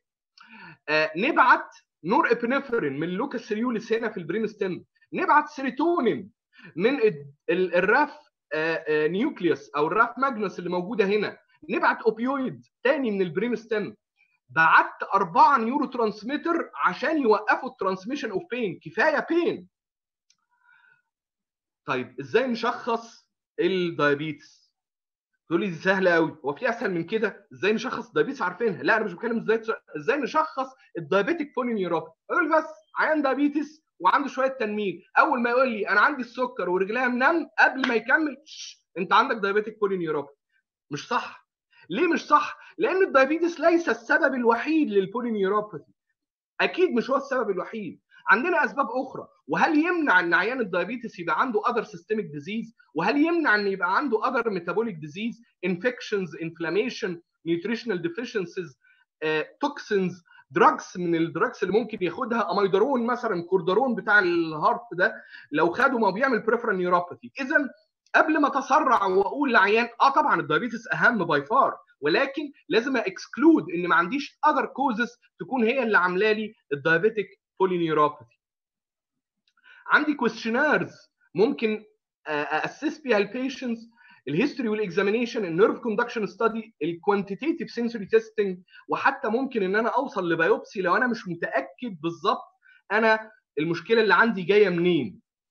دي بعض ال screening tools اللي بنستخدمها زي مثلا يعني آه، حاجة اسمها LANSS. ال LANSS ده أشهرهم. يعمل إيه؟ ي assess ال pain بشوية أسئلة للعيان ويعمل sensory testing ويحسب score maximum 24 أقل من 12 يبقى أنت ال pain اللي عندك ده مش neuropathic مش بتاع ال diabetes عندك pain أنا معترف بس أدور على سبب تاني. أكتر من 12 يبقى لا فعلا ال pain اللي عندك ده neuropathic من ال diabetes وبعمل كده بعد كده أعمل rating zero ما عندوش neuropathy واحد عنده subclinical طلعته بال EMG وال nerve conduction 2A mild to moderate 2B ده بدأ يخش في ال negative يعني في ال severe stage ثلاثة ده دخل في disability disability نتيجة ال diabetic polyneuropathy أخيرا ال treatment. لازم أ set ال goal مع العيان بتاعي. الأول كده أظبطه أفنط له دماغه. يا عم أنت مش هعرف أقضي على 100% من ال pain آخري معاك more than 50% مش آخري ولكن خلينا ن set reasonable realistic goal بس خلي بالك ال second goal بالنسبة لك العيان ده عايز ينام. العيان ده عايز يبقى مزاجه حلو. العيان ده عايز يحسن quality of life فبالتالي لازم كل ده أبقى باصص ليه؟ مش بس إن أنا أعالج ال pain اللي عنده أو ال diabetic polyneuropathy وبس.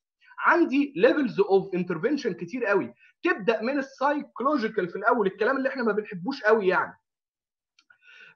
تصعد إلى ال topical ثم ال oral ثم ال injection ثم يحال أمره إلى ال interventionist لو أنا فشلت معاه. الحاجات ال psychological دي إزاي؟ ال cognitive وال behavior ال meditation وال biofeedback هتقول لي الكلام ده كلام بجد ولا كلام كتب؟ لا والله كلام بجد إحنا بس مش يعني we are believing in روشتات we are believing in prescriptions لكن الكلام ده بيفرق. طيب هتقول لي هنعمل إيه؟ إيه الأدوية اللي نقدر نستخدمها؟ هنبص هنا يا جماعة فاكرين ال slide ده بتاع ال transmission of pain هشتغل على كل نقطة في ال pain pathway هاجي على أول نقطة عند ال peripheral عند ال peripheral ممكن أديله capsaicin capsaicin ده اللي هو مين؟ شطة. حط شطة. local anesthesia زي ال lidocaine tricyclic antidepressant زي ال amitriptyline أشهرهم مثلا ال Tryptizol. ادي أدوية من الأدوية اللي تحسن ال descending modulation فاكرين الأربعة اللي كانوا نازلين عشان يقللوا ال pain ادي أدوية تكترهم. ادي أدوية تشتغل centrally أشهرهم على الإطلاق الألفا 2 delta ligand إيه الألفا 2 delta ligand ده؟ دي إحنا يا جماعة عندنا دي ال dorsal root ganglia ودي ال dorsal horn في ال spinal cord أنا جاي لي الألم من هنا. طالع ألم ألم ألم ألم. pain pain pain هيلاقي عشان يوصل ال pain لازم تفتح calcium channels تدخل كالسيوم. دخل الكالسيوم ال pain هيبقى transmitted أحد ال subunits المهمه في ال calcium channel ال alpha 2 delta subunit ال alpha دول delta subunit دي لو اشتغلت عليها وقفلتها يبقى أنا قفلت كل ال pathway هتقول لي مين اللي بيعمل كده؟ الشهير ابن الشهير ابن الشهير ال pregabalin وال gabapentin ال pregabalin وال gabapentin المشهورين البري جابلين طبعا دخل جدول ربنا يعني يسهل بقى اللي تسبب في كده لأنه كان دواء مهم جدا ومفيد جدا بالنسبة لنا. طيب إيه الحل الثاني فاكرين الأربعة اللي كانوا نازلين من فوق؟ dopamine norepinephrine serotonin opioid طب ما تدي اس ان ار اي إيه اس ان ار اي ده؟ serotonin norepinephrine reuptake inhibitor reuptake inhibitor يعني تمنع إن هو يبقى reuptaken يعني بتزود ال level بتاعه. طب وإيه لما أزود ال level أعمل إيه؟ يبقى أنا بزود ال level of modulation of pain أشهرهم مين؟ ال duloxetine و ال venlafaxine ال American Academy حطت guidelines إحنا عندنا two authorities كبار اللي هم two authorities في كل الطب يعني. ال American Academy وال European Academy of Neurology حطوا لنا guidelines قالوا إيه؟ ال American Academy حاطط بري جابل الرقم واحد level A evidence level 2 gabapentin duloxetine amitriptyline opioids و tramadol. ال European عملوا إيه؟ غيروا شوية حطوا ال first line ال gabapentin وال pregabalin اللي هم الالفا 2 دلتا مع ال SNRI مع ال tricyclic antidepressants القدام ال tricyclic antidepressants القدام. أقول لحضراتكم على سر ده سر بجد. ال tricyclic antidepressants اللي هم القدام الشريط ابو ربع جنيه ده اللي هو العلبة ابو 5 جنيه تريبتيزول والكلام ده. واقع الأمر هو SNRI زيه زي الأدوية الغالية دي. آه بجد والله. هتقول لي أمال إيه اللي حصل؟ ليه الراجل ده عامل في نفسه كده وليه دول ب... ب... عاملين في نفسهم كده؟ ليه شايفين نفسهم؟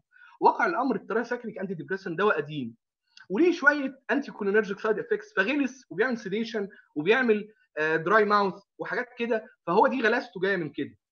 لكن هو واقع الأمر هو SNRI اتطور ونضف يعني رمضان بطيخة بقى منى مور فهو ده ده رمضان بطيخة وده منى مور هم لكن واقع الأمر ولذلك ولذلك من أسرار روشتة ال neurology في هذا ال field ما تحطش اس ان ار اي مع تراسايكليك انتي ديبريسنت اذا أنت مش عارف هم بيشتغلوا على إيه. أنت فاكر بتعمل combination أنت بت duplicate ال mechanism.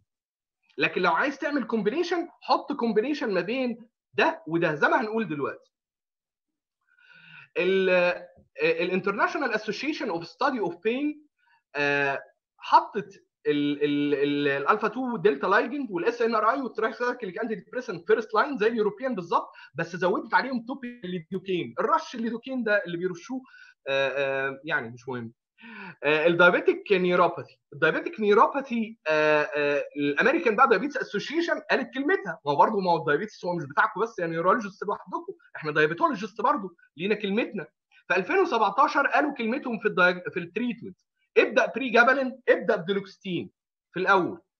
ولكن إحنا بتوع diabetes مش إحنا يعني هم بتوع diabetes أو حضراتكم بتوع diabetes فقالوا إيه؟ خلي بالك tight glucose control من ممكن يمنع يمنع ال development of polyneuropathy بس ده في type 1 لكن جه في type 2 اتكلم عليها بحرص. قال إيه؟ إن ال tight control اللي كان ممكن ينفع إنه ي prevent تماما في type 1 ممكن ينفع modestly in type 2 خايف من type 2 وعارف type 2 ده ما ما بيسلكش.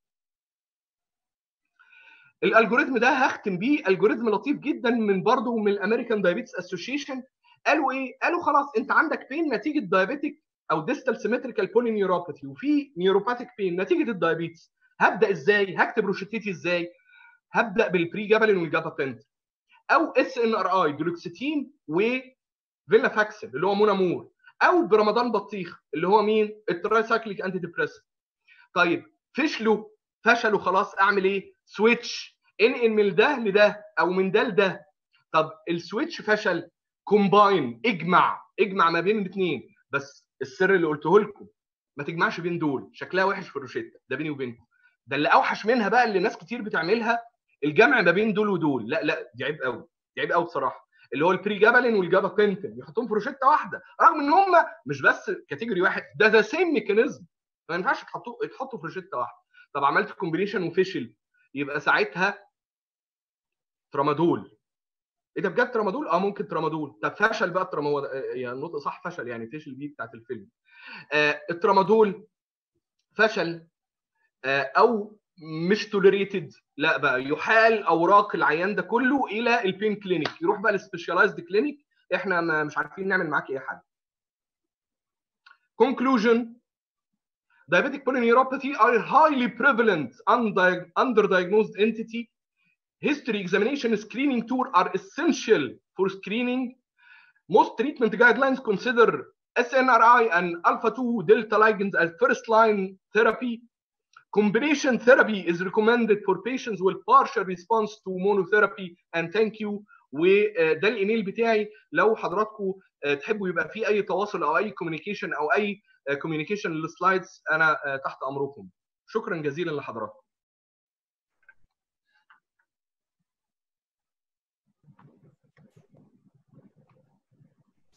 شكرا ليكي دكتور عمرو محاضرة عندنا أسئلة لحضرتك. أنا عندي سؤال. اتفضل. شكرا دكتور عمرو. طبعا وافر من العلم والمعلومات وشيء جميل. uh, forgive me. I didn't say any see any improvement in any patient with diabetic neuropathy. With any drugs uh, which is uh, recommended by the guidelines.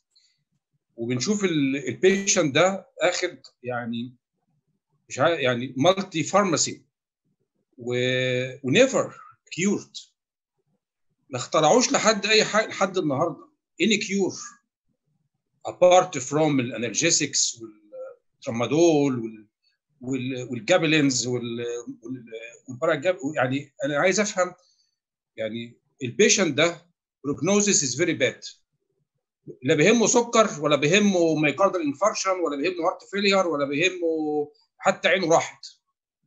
لكن بيهمه حاجة واحدة بس الألم اللي موجود عنده. يعني عايز أسمع منك يعني. يعني أنا طبعا متفق مع حضرتك يعني جزئيا الحقيقة إنه ال burden بتاع ال pain بيبقى فعلا هو ال most troublesome لل patient ولكن واقع الأمر الحقيقة هي الفكرة ما بتبقاش في روشتة بس هو الفكرة multidisciplinary approach ال tight control of glucose tight glycemic control lifestyle modification is very important. Physical exercise is very important. ال cognitive وال behavioral component of the pain is very important. آخر حاجة في في الموضوع كله في ال multidisciplinary approach ده هو الروشته إحنا واقع الأمر as clinician بنبقى دايما overwhelmed بكتابة الروشته دون النظر لل other aspects بعد ما بنعمل كل ال multidisciplinary approach ده في عندنا escalation therapy يعني إن ممكن escalate my approach into invasive وال invasive دلوقتي بقى عندنا pain clinics ممكن جدا إن أنا ا refer ال patient ليها. وال alleviation of pain لا يستلزم ال cure إحنا إحنا كنا قلنا حتى إحنا عشان ن set ال goals هو في هو اذا كان ما فيش cure لل diabetes هيبقى في cure لل polyneuropathy بتاعه. فبالتالي إحنا لازم ن set ال goals بتاعت ال patient إحنا لازم نتفق إن إحنا مش هنقدر ن cure 100% نقدر نحسن as much as we can and we have escalating steps up to إن إحنا نوصل لل invasive uh, زي ما بيحصل في ال pain clinics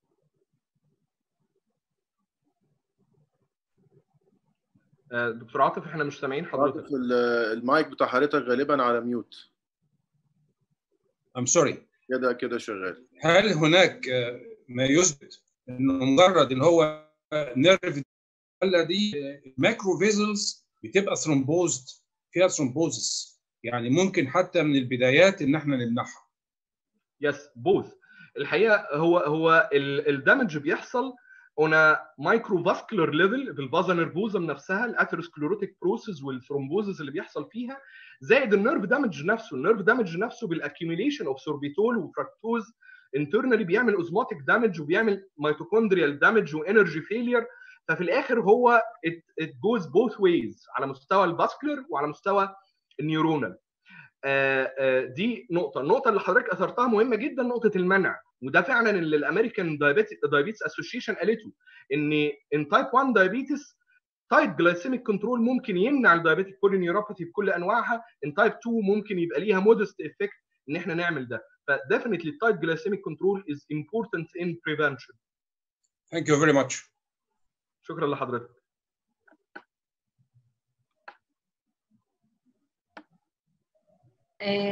خلونا دلوقتي نقدم أستاذ الدكتور محمد زايد Assistant Professor of Ophthalmology Faculty of Medicine Cairo University.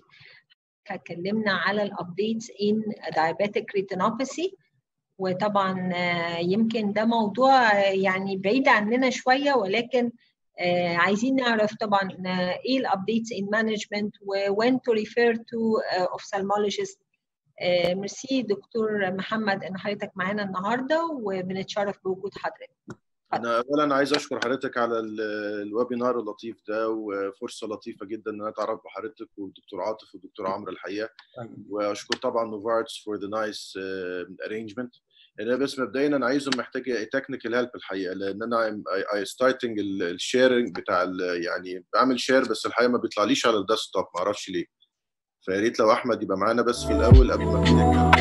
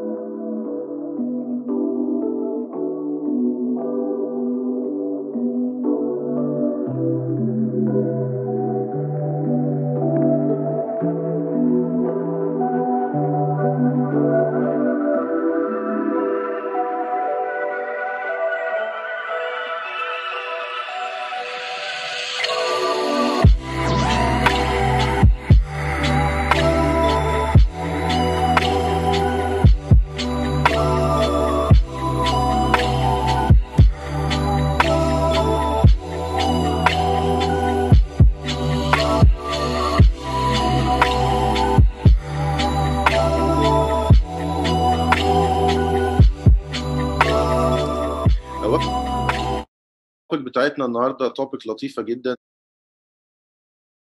Patients in diabetes. والحقيقة كلامي يعني هيبقى جزء منه مش بعيد قوي عن الكلام اللي كان الدكتور عمرو بيتكلم عليه الحقيقة.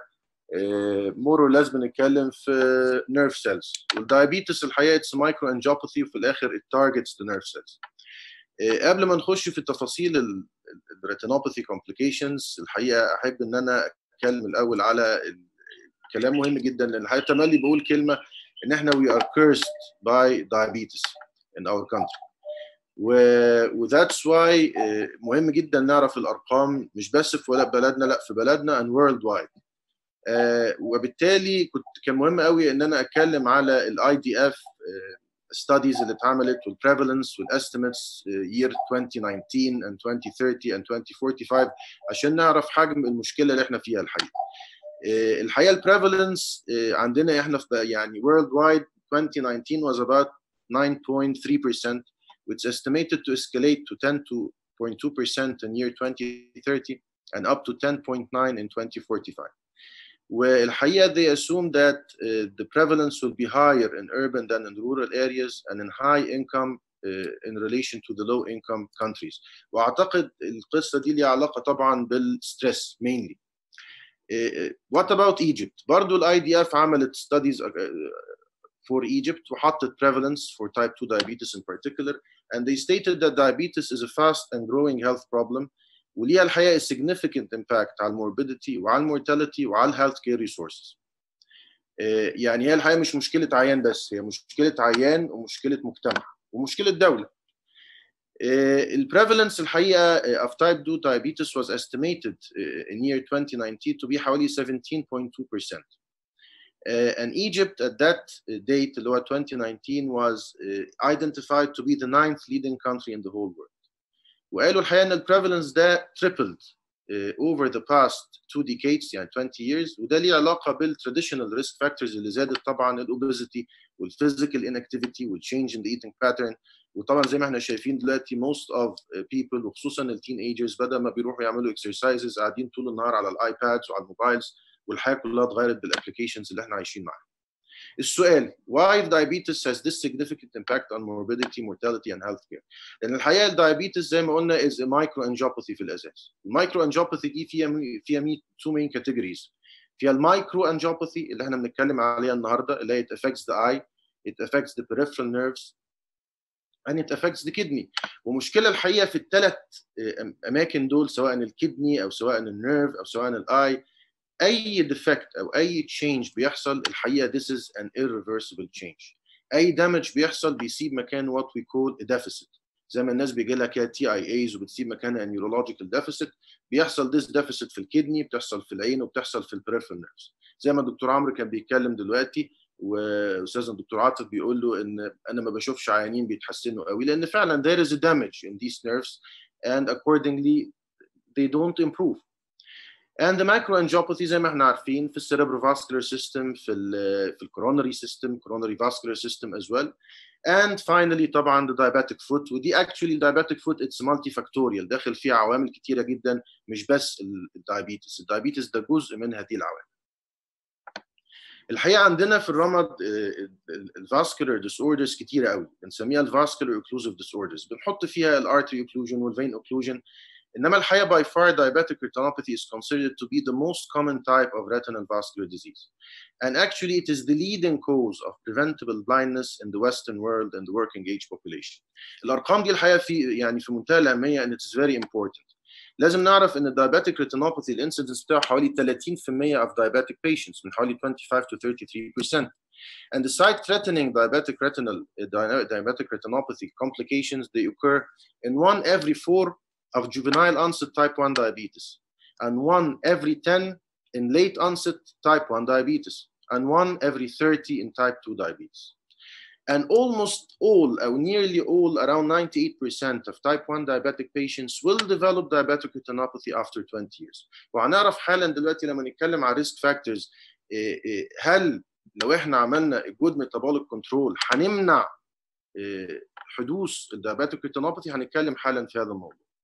الحقيقة risk factors هنا are multifactorial بس في حاجتين مهمين جدا بنتكلم عليهم تملي وزي برضه ما الدكتور عمرو اتكلم إحنا تملي بنربط ال diabetes بالديوريشن not the severity يعني إيه؟ يعني لو واحد عنده دايابيتس بقاله 10 سنين moderate control أوحش كتير قوي من اللي عنده acute onset uncontrolled diabetes وبالتالي بنقول إن it is the most important factor and the incidence after 10 years بتبقى حوالي 50% of patients diagnosed of having diabetes before the age of 30 years.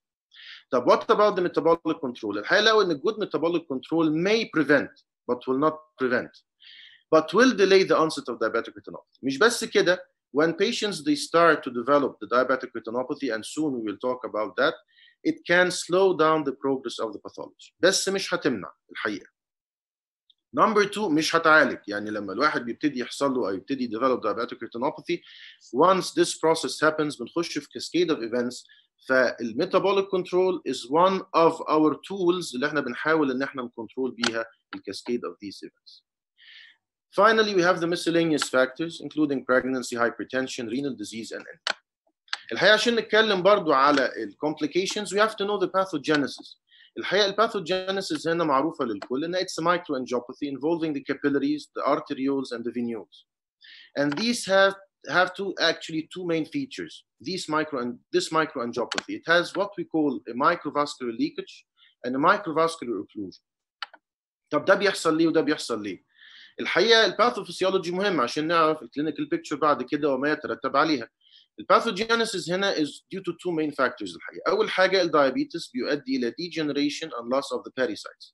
وزي ما كلنا نعرف احنا عندنا an endothelial pericyte ratio تقريبا واحد لواحد.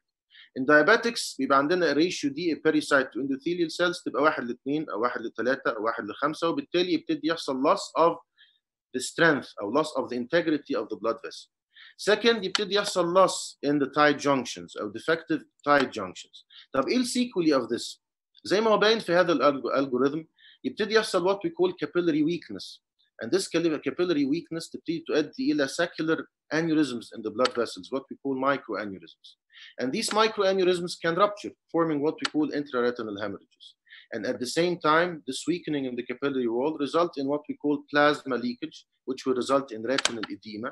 And eventually, when this retinal edema is not controlled, when it gets more and more chronic, the deposition of cholesterol, forming what we see uh, in this figure, which what we call the exudates. Second, we have the microvascular occlusion. وبرضه مهم جدا نعرف ما هي أسبابها، الأسباب زي ما هي واضحة في الدايجرام اللي قدام حضراتكم إن بيبتدي يحصل thickening in the basement membrane، بيبتدي يحصل endothelial cell damage، بيبتدي يحصل RBC deformation، ال plasticity بتاعت ال RBCs نفسها بتتغير وبالتالي بيحصل decrease in what we call the oxygen carrying capacity. And finally يبتدي يحصل increase in the aggregation and thickness of the platelets. طب again ال algorithm ده بيوضح لنا السيكولي of this event المايكروفاسكولار occlusion ده هتؤدي الى ايه؟ This will result in what we call decreased capillary perfusion. And this capillary perfusion, when it is decreased, it will result in hypoxia, tissue hypoxia. الحقيقه هنا it is very tricky لان الهايبوكسيا دي if it is mild في early phase يبتدي يحصل compensation for this hypoxia by what we call the IRMA or the AV shunts. ايه الإيرما او الاي في shunts دي؟ دي عباره عن arteriovenous collaterals موجوده في الاساس انما they are collapsed. once ابتدى يحصل نوع من انواع الاسكيميا these shunts تبتدي تفتح عشان تبتدي تعوض او to compensate for the amount of ischemia. في الفتره دي احنا قلنا كلمه اسكيميا فيبتدي يحصل a sort of decreased propagation of the conductivity along the nerve fibers يعني يبتدي يحصل sort of accumulation of the neurotransmitters and a sort of infarction in the nerve fibers ودي بتؤدي الى حاجه بنسميها الكوتون وول سبوتس طب لو الاديمه زادت شويه والعيان بيعند معايا والدكتور بتاعه ما بيقولوش روح دكتور عيون هيحصل إيه الاسكيميا دي it will be beyond the capacity of the AVs فيبتدي يحصل elaboration of what we call the vascular endothelial growth factor وده بيبقى actually زي ما إحنا كلنا عارفين بيبقى secreted from the endothelial cells يبتدي يخش في الكاسكيد المشهور يبتدي يحصل formation of new vessels and these new vessels eventually تعمل fibrovascular proliferation ending in what we call proliferative diabetic retinopathy طيب عشان نقول what what is the classification or what are the types of diabetic retinopathy هنفتكر حالا الكلام اللي إحنا قلناه اللي هي بنسميها ال pathophysiology أو ال pathogenesis الحقيقة هي ما هي إلا آه، هو إعادة لنفس الكلام. ال microvascular leakage stage دي بتعادلها ال background diabetic retinopathy وال microvascular occlusion phase ده if it is mild بتعادلها ال preproliferative diabetic retinopathy and if it is severe بتعادلها وات we call the proliferative diabetic retinopathy. البيكتشر زي ما احنا شايفين uh, this is the optic nerve head these are the vessels هنلاقي في الصوره اللي احنا شايفينها هنا yellow deposits these are the exudates هنشوف uh, along the vessels very small dots الدوتس دي طبعا بتبان like dot and blot hemorrhages انما بتبان لنا اكتر في الفلوريسين angiogram as what we call macroaneurysms and finally we have these patches of hemorrhages كل دي signs of what we call background diabetic retinopathy كل ده بيبقى نتيجه المايكروفاسكولار leakage Next phase إن إحنا نبتدي نعلي ال pathology شوية يبتدي نخش في المرحله الأخرى اللي هي ال microvascular occlusion في ال early phase of microvascular occlusion يبتدي يحصل stagnation لل neurotransmitters تعمل لنا ال cotton wool spots اللي إحنا شايفينها ال white deposits اللي إحنا شايفينها في ال retina ما نقدرش نرسمها they are ill defined they are whitish in color they are not yellowish in color. يختلفوا تماما عن ال exudations اللي إحنا شايفينها هنا. They are well defined they are yellowish. تقدر ترسمهم واضحين. انما هنا they are totally different ف this is a sign of ischemia مهمه جدا together with vascular abnormalities in the form of venous beading looping segmentations and eventually we, we start to see these irma نقدر نشوفهم بالفحص بتاعنا ونقدر confirm them by what we call the fluorescein angiogram which, uh, which is one of the investigative tools. Eventually this patient if left uncontrolled if left untreated هيبتدي يخش في what we call the proliferative stage ودي الحقيقه اللي هي زي ما بيقولوا بدايه النهايه. Once these new vessels are formed ده معناه ان احنا عندنا a severe form of neovascular occlusion. يبتدي يحصل لنا sprouting of these new vessels they start at the level of the optic nerve head زي ما احنا شايفين and elsewhere any place on the surface of, of, on the surface of the retina مش بس كده they can start to creep on the surface of the iris as well يعملوا لنا what we call rubeosis iridis that might end in what we call neovascular glaucoma ما بين النون النون proliferative والبري proliferative والproliferative diabetic retinopathy الحقيقه patients may present early in the diabetic pattern بحاجه اسمها diabetic maculopathy اذا ال diabetic maculopathy is not a classification او is not a subtype entity لوحدها كده لا هي ممكن تبقى in association with pre-proliferative او association with non-proliferative او in association with proliferative diabetic retinopathy يعني بمعنى it's not a sign of chronicity of the disease ما معنى diabetic maculopathy يعني ال pathology تحول بدل ما هو جاي في ال periphery of the retina يبتدي involve the center. فيعمل لنا what we call edema and exudations within the macula. الصور اللي تحت دي الحقيقة دي عبارة عن cut section في ال macula بحاجة جهاز بنسميه OCT أو optical coherence tomography عامل زي ال CT scan بس بناخد بيه histological section in the retina الصورة اللي on the left side دي دي عبارة عن الصورة الطبيعية بتاعت ال healthy retina ال pit اللي في النص دي اللي بنسميها ال foveal pit لما نيجي نبص on the other one أنا بس excuse me مش عارف أطلع ال cursor ما أعرفش لو أحمد يقدر يساعدني في القصة دي بقى كتر خيره الحقيقة. آه هنلاقي المنظر مختلف تماما وهنلاقي إن ال pit is totally obliterated and the retina is full of fluid. This is what we call macular edema. Then finally we have what we call the end stage اللي هي ال stage ال advanced diabetic eye disease. Stage اللي هي stage of complication اللي هو موضوعنا النهارده الحقيقة. والstage of complication دي عبارة عن إيه؟ عبارة عن ما هي إلا complications of the neovessels which are formed in the proliferative diabetic retinopathy state. النيوفيسلز دي عباره عن fragile vessels. They may bleed or they may ooze.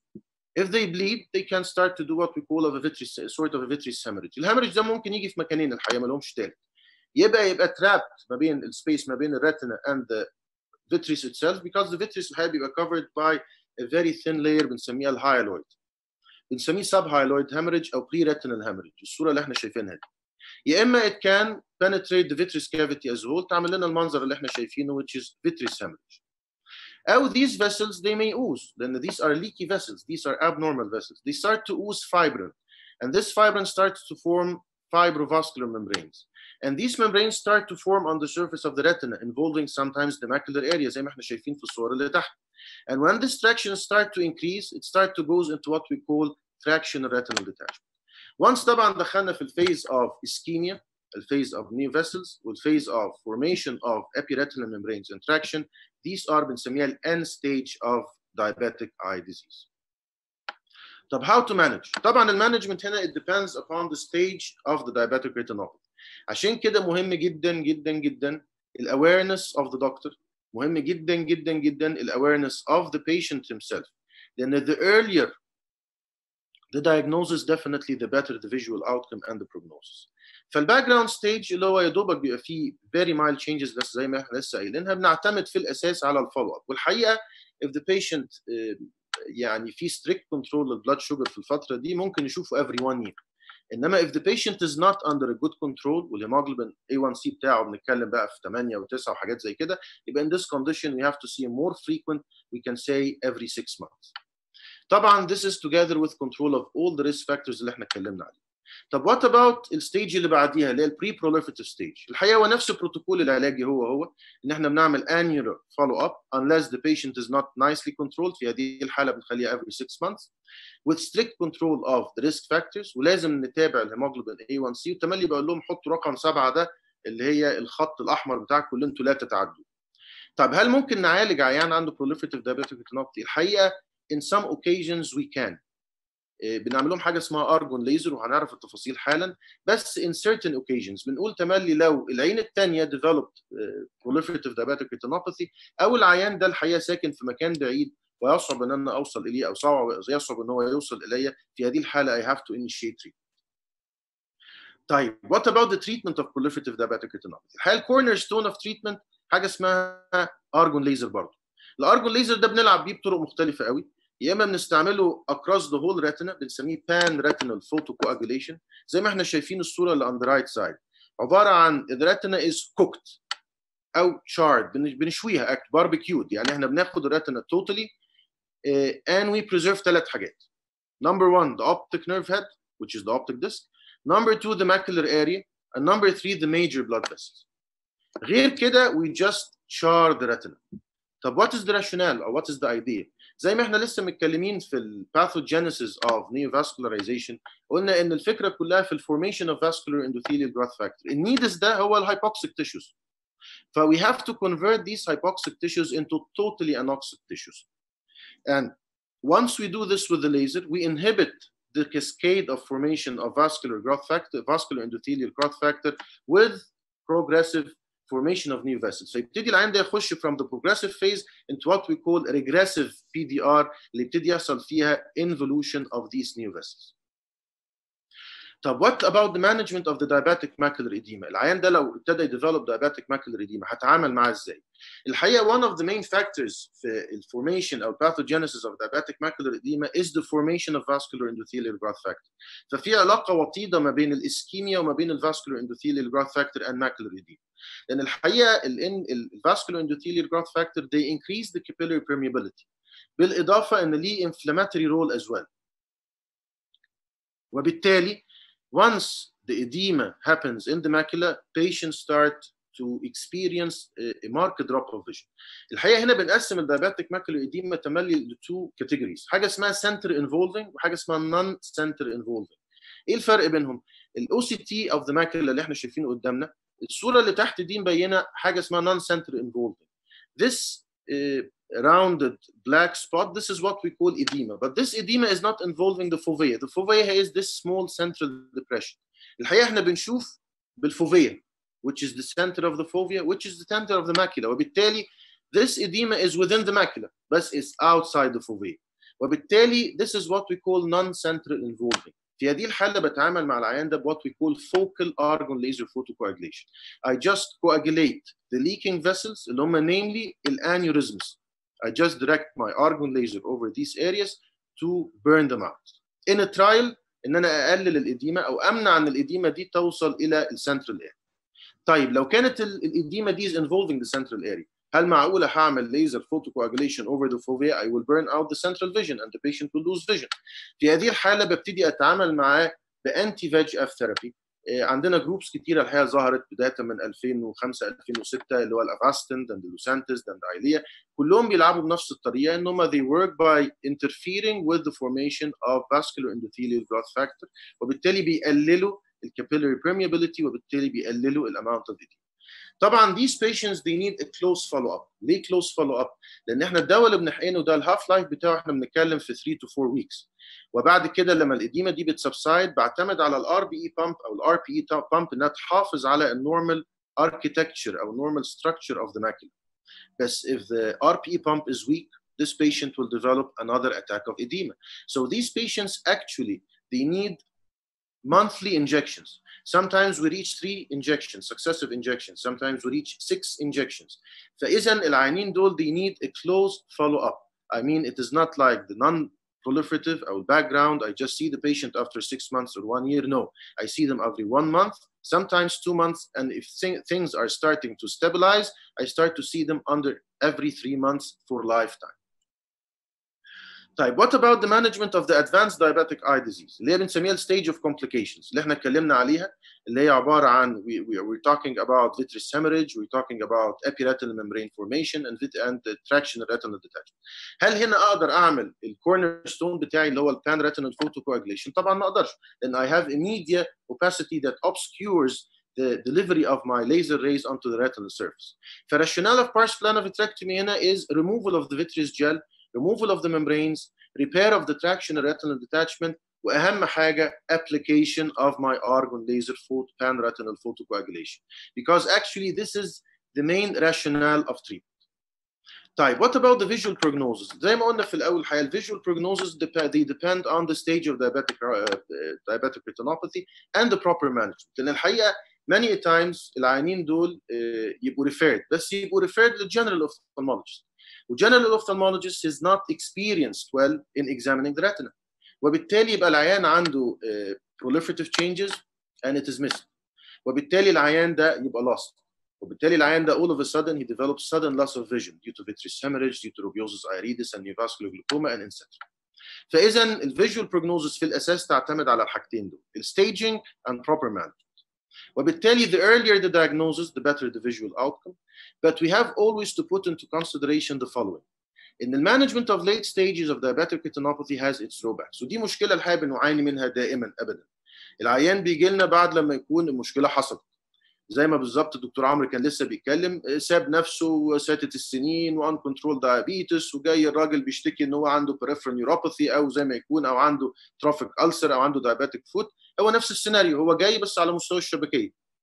بيقول لي والله أنا مش شايف بعيني and we start to initiate our therapy.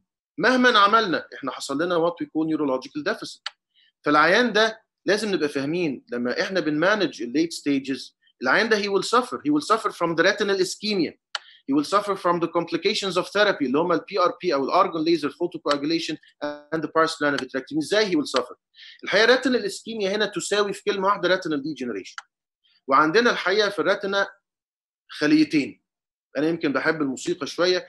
فعندنا الأوركسترا عبارة عن حاجتين. عبارة عن مايسترو اللي هو بي guide اوركسترا اللي إحنا بنمثلهم عندنا في الشبكيه بال photoreceptors وعندنا الأوركسترا نفسها اللي إحنا بنسميهم ال ganglion cells لأن ال ganglion cells دول همزة الوصل بين ال retina and the visual cortex. إحنا الحقيقة بنشوف بمخنا زي ما إحنا عارفين. فاذا these photoreceptors eventually they start to decay to decay and to fade away. وبالتالي المايسترو after some time بيبتدي يفقد ال talent بتاعته. نفس السيناريو ال ganglion cells اللي هم أعضاء الأوركسترا. يبتدوا gradually كل كل شوية واحد يسيبنا ويمشي واحد يسيبنا وهكذا. فنلاقي ال quality of vision is affected فالعيان ممكن يبقى treated and treated well and his condition is controlled. But he has a neurological deficit. He has a visual deficit. And he has a defective vision. العيان لو شايف 66 هنعرف حالا ده بنسميه legally blind. Legally blind ده ما يعرفش يسوق عربية ما يعرفش يطلع رخصة. ما يقدرش يشتغل شغل كتابي وحسابي و إلى اخره ف this is this is a problem this is a problem نفسيه و problem اجتماعيه و problem على مستوى الدولة ككل وبالتالي this is very important eventually these patients لأن بما ان ال ganglion cell اللي هم actually اللي بيحضروا أو بيكونوا ال optic nerve they are affected eventually these patients they develop optic atrophy طيب what about the PRP إيه مشكلة ال PRP؟ أنا بعالج بيه آه بس ال PRP حضرتك أنا بحرق at least نص retina فأنا عندي 50% of the visual field is lost after PRP فالعيانين دول عندهم contracted field. فالعيان ده يقول لك أنا ماشي بالعربية. طبعا إحنا في مصر هنا لا نعترف بالشهادات. يعني يقول لك أنا عملت الرخصه بس ضربت شهادة القيادة أو شهادة النظر يعني. فتلاقي العيان سايق العربية وعنده حاجة اسمها jack in the box phenomena يعني هو ماشي شايف قدامه حلو 24 قرات و all of a sudden هو مش شايف اللي كان بقاله ربع ساعة بيعدي من على إيده اليمين ولا الحمار اللي, اللي ماشي بقاله ربع ساعة معدي على إيده الشمال مرة واحدة على كبوت العربية. ف this is what we call jack in the box phenomena which is very very very disastrous الحقيقة. نمرة اثنين they always have a sort of night blindness or defective night vision. بالليل يبقى ماشي تايه. ال adaptation عنده فيها مشكلة مش بس كده ال very bright illumination يقول لك أنا عندي severe photophobia امشي الصبح مش تايه لازم ألبس نظارة شمس عشان أقدر أتحرك Uh, then we have the complications of the pars plana vitrectomy. ال pars plana vitrectomy زي ما ليها حسنات كتيرة جدا ليها سيئاتها برضو برضو إحنا بنعمل PRP فكل العيانين اللي اتعمل لهم pars plana vitrectomy عندهم نفس مشكلة ال PRP إنهم عندهم contracted field. نمرة اثنين if we don't do them a cataract if we don't do them a cataract on the primary surgery كلهم هيجيهم cataract بس it's a matter of time. مش بس كده they had a very, very high incidence of glaucoma وزي ما إحنا نعرف كلنا ان glaucoma is one of the disastrous diseases in ophthalmology ومن الحاجات اللي فعلا يعني في كلام كتير قوي عليها وإحنا لحد دلوقتي الحقيقة ما فهمناش نصها تقريبا لانها برضو it belongs to the central nervous system فاذا إحنا we have different problems regarding the management of diabetic retinopathy. To conclude الحقيقه اللي انا عايز يعني التيك هوم مسجز لكل كل زملائنا الاطباء في مجال امراض البطنه ان there should be early referral of diabetic patients to a retina consultant مش للجنرال ophthalmologist please this is mandatory لان ال early diagnosis and proper management زي ما قلنا هي اهم حاجه and always bear in mind that the absence of a patient's and a doctor's awareness may end in a blind or a legally blind patient والحقيقة مش معنى blind legally blind patient أو أنا آسف blind patient ده إن هو أنا آسف الليجلي بلايند بيشنت إن هو مش شايف خالص. لا هو شايف. البلايند بيشنت ده اللي هو يا دوبك شايف خيالات هاند موشن إنما الليجلي بلايند ده بيبقى شايف 0.1 يعني 66 يعني اللي حضرتك اللي المفروض تشوفه الإنسان الطبيعي يشوفه على مسافة 60 متر وبيشوفه على مسافة 6 متر. وبالتالي he is handicapped. And the society is burdened by these patients.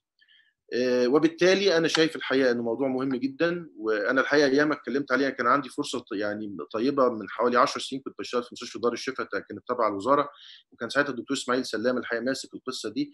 وكنا بصدد إن إحنا نحول دار الشفاء دي حضرتك يا دكتور إيناس إلى eye retina center أو diabetic eye disease center وكنا planning إن إحنا ندخل fluorescein angiogram و OCT وتبقى referral و إلى آخره إنما للأسف بعد لما هو مشي المشروع للأسف لم يكتمل. thank you أحب أشكركم الحقيقة على ال invitation وأحب أشكركم على ال very fruitful presentations اللي سمعتها من حضراتكم النهارده. شكرا. إحنا اللي بنشكر حضرتك و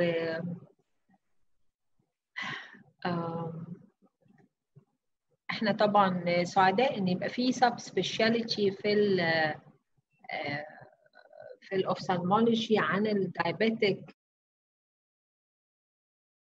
eye وعندنا مشروع مهم قوي هنحتاج حضرتك فيه جدا national wise وبس إحنا نخلص طبعا الكوفيد 19 لأن هو كان بيعتمد على جهاز ophthalmoscope camera جايبينه وكنا المفروض إن إحنا نبتدي بيه في مارس بس يعني ما هو مارس ما جاش يعني. مش عايز اقطع حضرتك بس إحنا الموضوع نقدر implicate it بمنتهى السهوله لأن إحنا ببساطة شديدة محتاجين junior staff ياخد just photography fundus picture بس كده. و through ال satellite system نعمل ونقدر نعمل screen للحياة كلها. لا إن شاء الله بس يا رب كده الحالات تبتدي تقل و... ونستعين بحضرتك لأن هو موضوع مهم جدا وكان عندنا خطه طموحه جدا لكن الكورونا وقفت العالم مش وقفتنا بس وقفت الدنيا كلها Can I speak to Professor Muhammad? في اتفضل Uh, really, I'm impressed and very exciting, uh, Dr. Muhammad uh, Zaid. ميرسي Uh, it's very important. I'm always uh, speaking and uh, in my lectures and then with my patients. وفعلا ال early early referral is very important. في حاجتين الدايابيتك patients uh, مع الزملاء اللي بيعالجوا الدايابيتس they should be referred uh, أو should be examined. Retina should be examined at the diagnosis of the onset of diabetes should be examined at the onset of diabetes. للأسف آه، انت بتشوف مرضاك بعد ما بينتهوا بعد 20 سنة وبعدين يجي يقول الدكتور حقني في عيني وعيني راحت ومش عارف إيه. فالكلام ده I advise all doctors working in the field of diabetes or cardiovascular disease once إن هو شاف البيشنت بتاعه عنده coronary heart disease عنده hypertension عنده diabetes chronic kidney disease even because chronic kidney disease برضه لها افكت على ال retinal visits طبعا. فالموضوع ال macro يعني ال visits دي كلها we should refer ال patient ده ل retinal examination زي ما اتعلمنا وكان نفسي أتخصص في الرمد كنت جايب جيد جدا. عليك كنت تشرفنا دكتور عاطف كانت حاجة ممتعة إن أنا أبص على ال retina دي. أنا فضلت أبص عليها سنين وأنا باخد ال MRCP وأنا بفحص الريتنا دي this is the first window the Yes. first window for the cardiovascular disease in the body once you find this is microangiopathy اللي موجود في الريتنا البيشنت ده هيبقى عنده peripheral arterial disease بعد سنين صغيره قليله هيبقى عنده coronary artery disease وللاسف آه، في ديلاي محتاجين فعلا ان أنتم تعملوا لنا institution أو institution كبير retinal examination ال patients دول should be referred يعني يعطل العيان ويستأثر بيه. يجب إن هو يبعته فعلا يشوف ال retina قبل حدوث اللي شافه ده. لأن ده very bad macroangiopathy which will be delayed. آه لكن مش هيصلح. دي إحنا حقيقه مش عايزينكم كمان تتعبوا من إنكم تشوفوه في الآخر. بعد عايز هستاذن عليك في حاجة يا دكتور عاطف. في مشكلة تانية أو بعد تاني يمكن عليك ما تاخدش بالك منه أو many of our colleagues ألا وهو البعد المادي. إيه، في فرق ما بين إن أنا بكتب دواء. معلش مهما كان الدواء غالي أو رخيص أهو دواء هياخده ويصرفه كل شهر. إنما إحنا هنا talking about إيه، a different budget. لأن العيانين دول لو دخلنا في موضوع ال injections بن inject on monthly basis ليزر sessions عمليات vitrectomy وبالتالي وزي ما حضرتك عارف ال socioeconomic status عندنا في بلدنا مش كويس. فحضرتك بيبقى عندك المشكلة اللي هم للأسف الفقر والمرض. بتلاقي المريض قدامك about أو يعني خلاص قاب قوسين أو أدنى to lose his eye. أنا طبعا ما بتأخرش أنا بعالج العيان irrespective بس بتكلم مش كل الناس بيعملوا كده. ناس كتيرة جدا تقول والله آه، روح مثلا المكان الفلاني أو المكان العلاني يروح يا عيني يلاقي طوابير. وبالتالي يروح مروح بيتهم. وهو مش مدرك حجم المشكلة مش مدرك إن هو كمان سنة أو سنتين هيجي بعصاية وكلب يعني هو مش مش قادر يتخيل ده. فطبعا يعني الموضوع is too much complicated وأتمنى الدكتوره إيناس طبعا والدكتوره رانيا العيسوي تساعدنا في القصة دي آه، إن يبقى في دور فعال بقى الحقيقة للدولة كدولة لأن هو انستيتيوت صغير كقصر عين شمس ما- مش لوحده ما يعملش حاجة الايد لوحدها ما تسقفش. ده لازم يبقى اتجاه عام للدولة الحقيقة. We should have في- uh, a discipline and we should have multi centers for the retina all over Egypt. yes yes كان في أسئلة دكتور عاطف تحب حضرتك تقولها؟ كان في أسئلة جت في في أسئلة نشوفها. آه في أربع أسئلة جم. okay. um,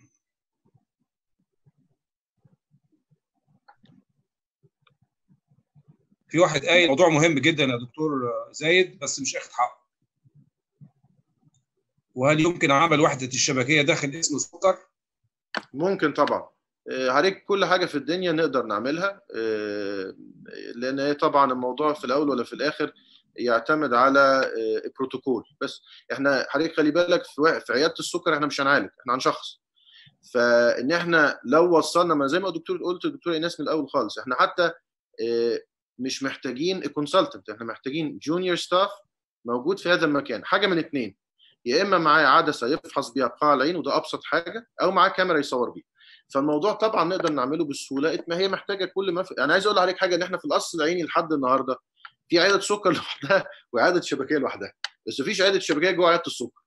طب يعني ودي من it's mandatory it's mandatory أنا ارجو أنا أرجو إن يكون يعني زي ما بيحصل عشان تاخد شهادة وتبقى internist انت لازم تتعلم ت- ت- تشوف ال retina كويس ولازم تفحصها كويس ك routine examination وبعد كده تحولها لمتخصص علشان يكمل. حقيقة دي حاجة. للأسف إحنا قاعدين على يعني الناس بتقعد على المكتب بتكتب الروشتة وبيكلموا العيان وخلاص. دكتور عمرو طبعا وزمايلنا في ال neurology experts في direct ophthalmoscope طول عمرهم. فالمفروض دكتور عمرو يبعت لنا كتير بقى. آه يعني دي مهمة. في سؤال تاني للدكتور زايد. you, you didn't mention micropulse laser in diabetic macular edema which gave me good results in uh, SA.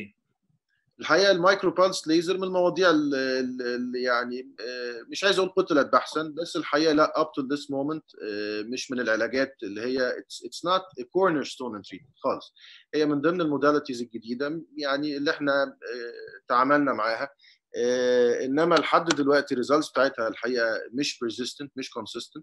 لا تقارن من أو من قريب أو من بعيد بال anti VEGF treatment which by far it gives much superior results. وبالتالي الحقيقة مش دي ال occasion النهارده بكلم اساتذتنا في مجال الطب الباطنه العامة إن إحنا how to to to filter these patients. نتكلم على schemat كده thinking about the whole thing. إنما أنا مش مش داخل أتكلم باستفاضة. أنا ما دخلتش في ال anti VEGF كتفاصيل ولا ال micro pulse حطيته لأنه مش من ال cornerstones الحقيقة آه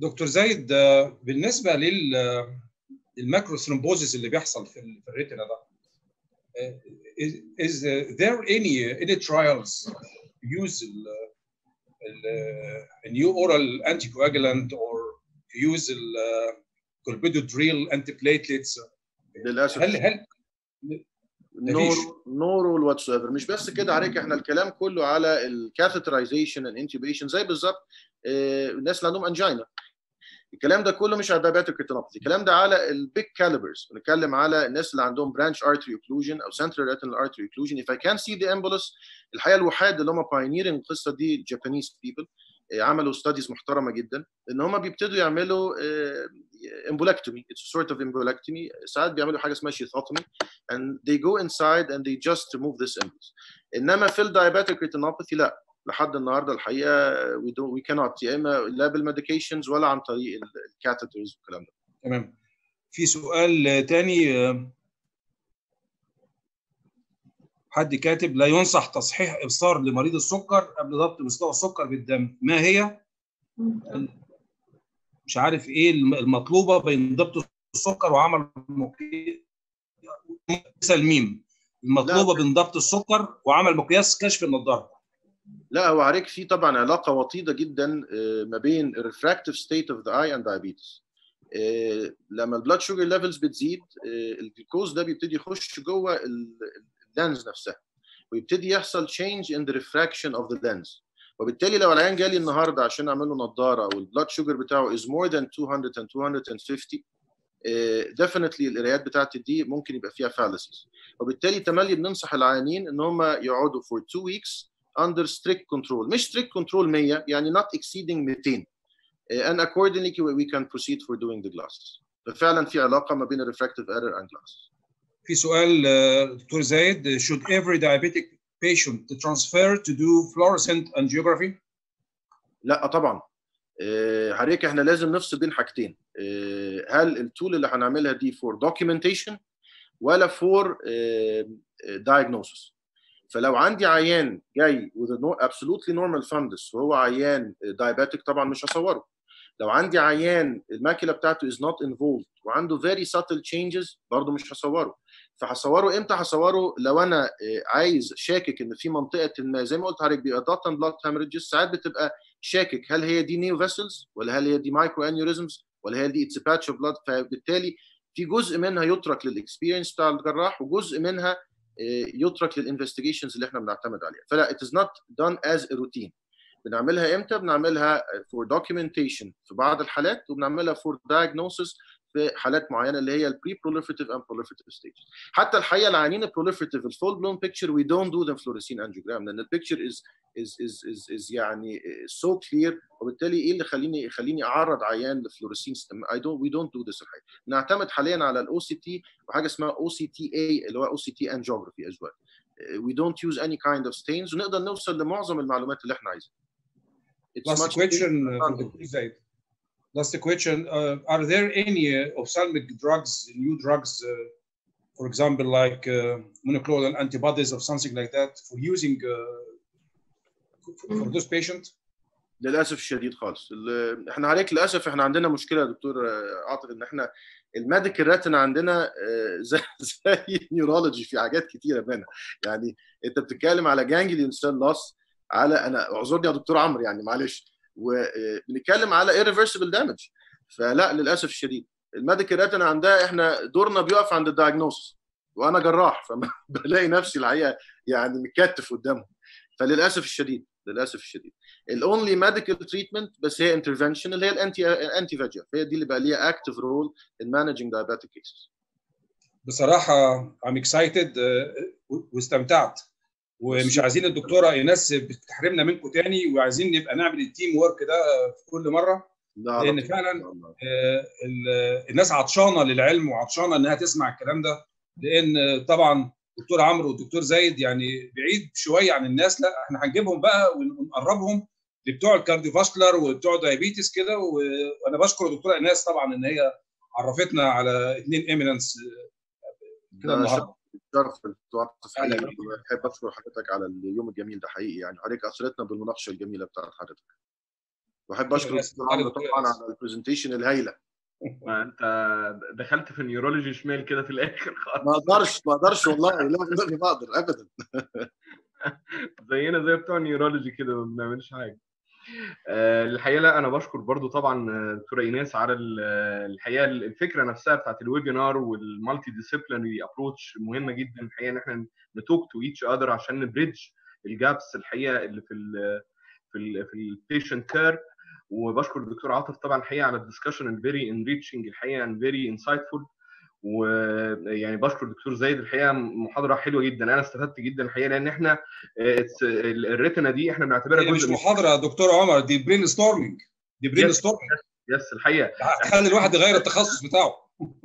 ال retina ال retina بالنسبة لنا ال retina بالنسبة لنا جزء من ال من ال neurology وإحنا دلوقتي أبحاث كتير جدا بت بتكوريليت الريتنا والريتنا ثيكنس والريتنا نير فايبر لاير والجانجليون سيل لاير مع كل بقى ال neurological disorders بكل أشكالها وألوانها.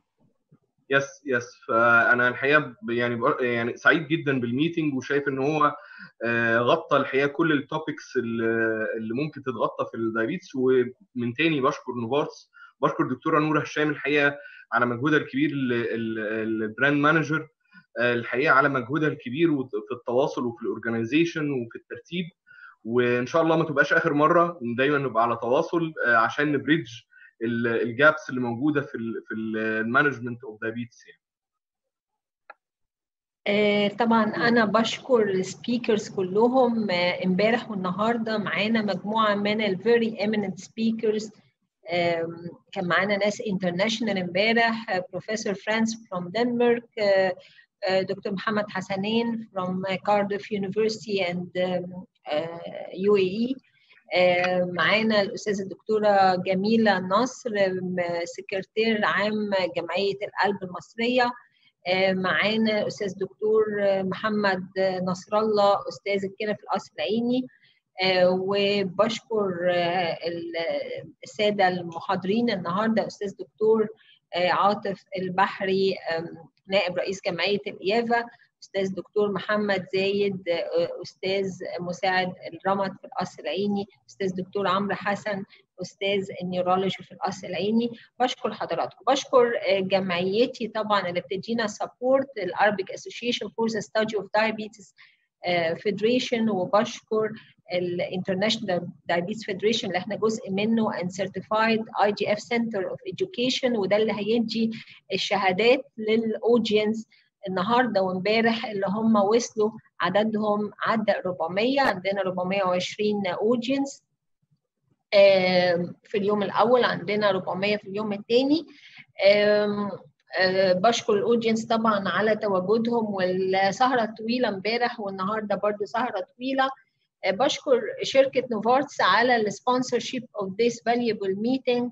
وطبعا بنرجو إن إحنا نكون عند ال expectations of Novartis team هشكر البيور سبوت على ال successful webinar الحقيقة ناجح من غير أي نوع من المشاكل أو technical problems سعيدة جدا بحضراتكم. ونتمنى إن إحنا يكون ده بداية شغل فعلا وإحنا جاهزين لشغل هي ممكن قوي إن هو يجمع الدايابيتس مع النيورولوجي مع الكارديوفاسكولار مع اللور ليمف لأن إحنا كنا ناويين إن إحنا ندخل ال diabetes complications كلها مع ال fundus اللي هو مع ال fundus screening فبس يا رب الدنيا تهدى ونبتدي في المشروع بتاعنا ونعوض الشهور اللي ما عرفناش نشتغل فيها.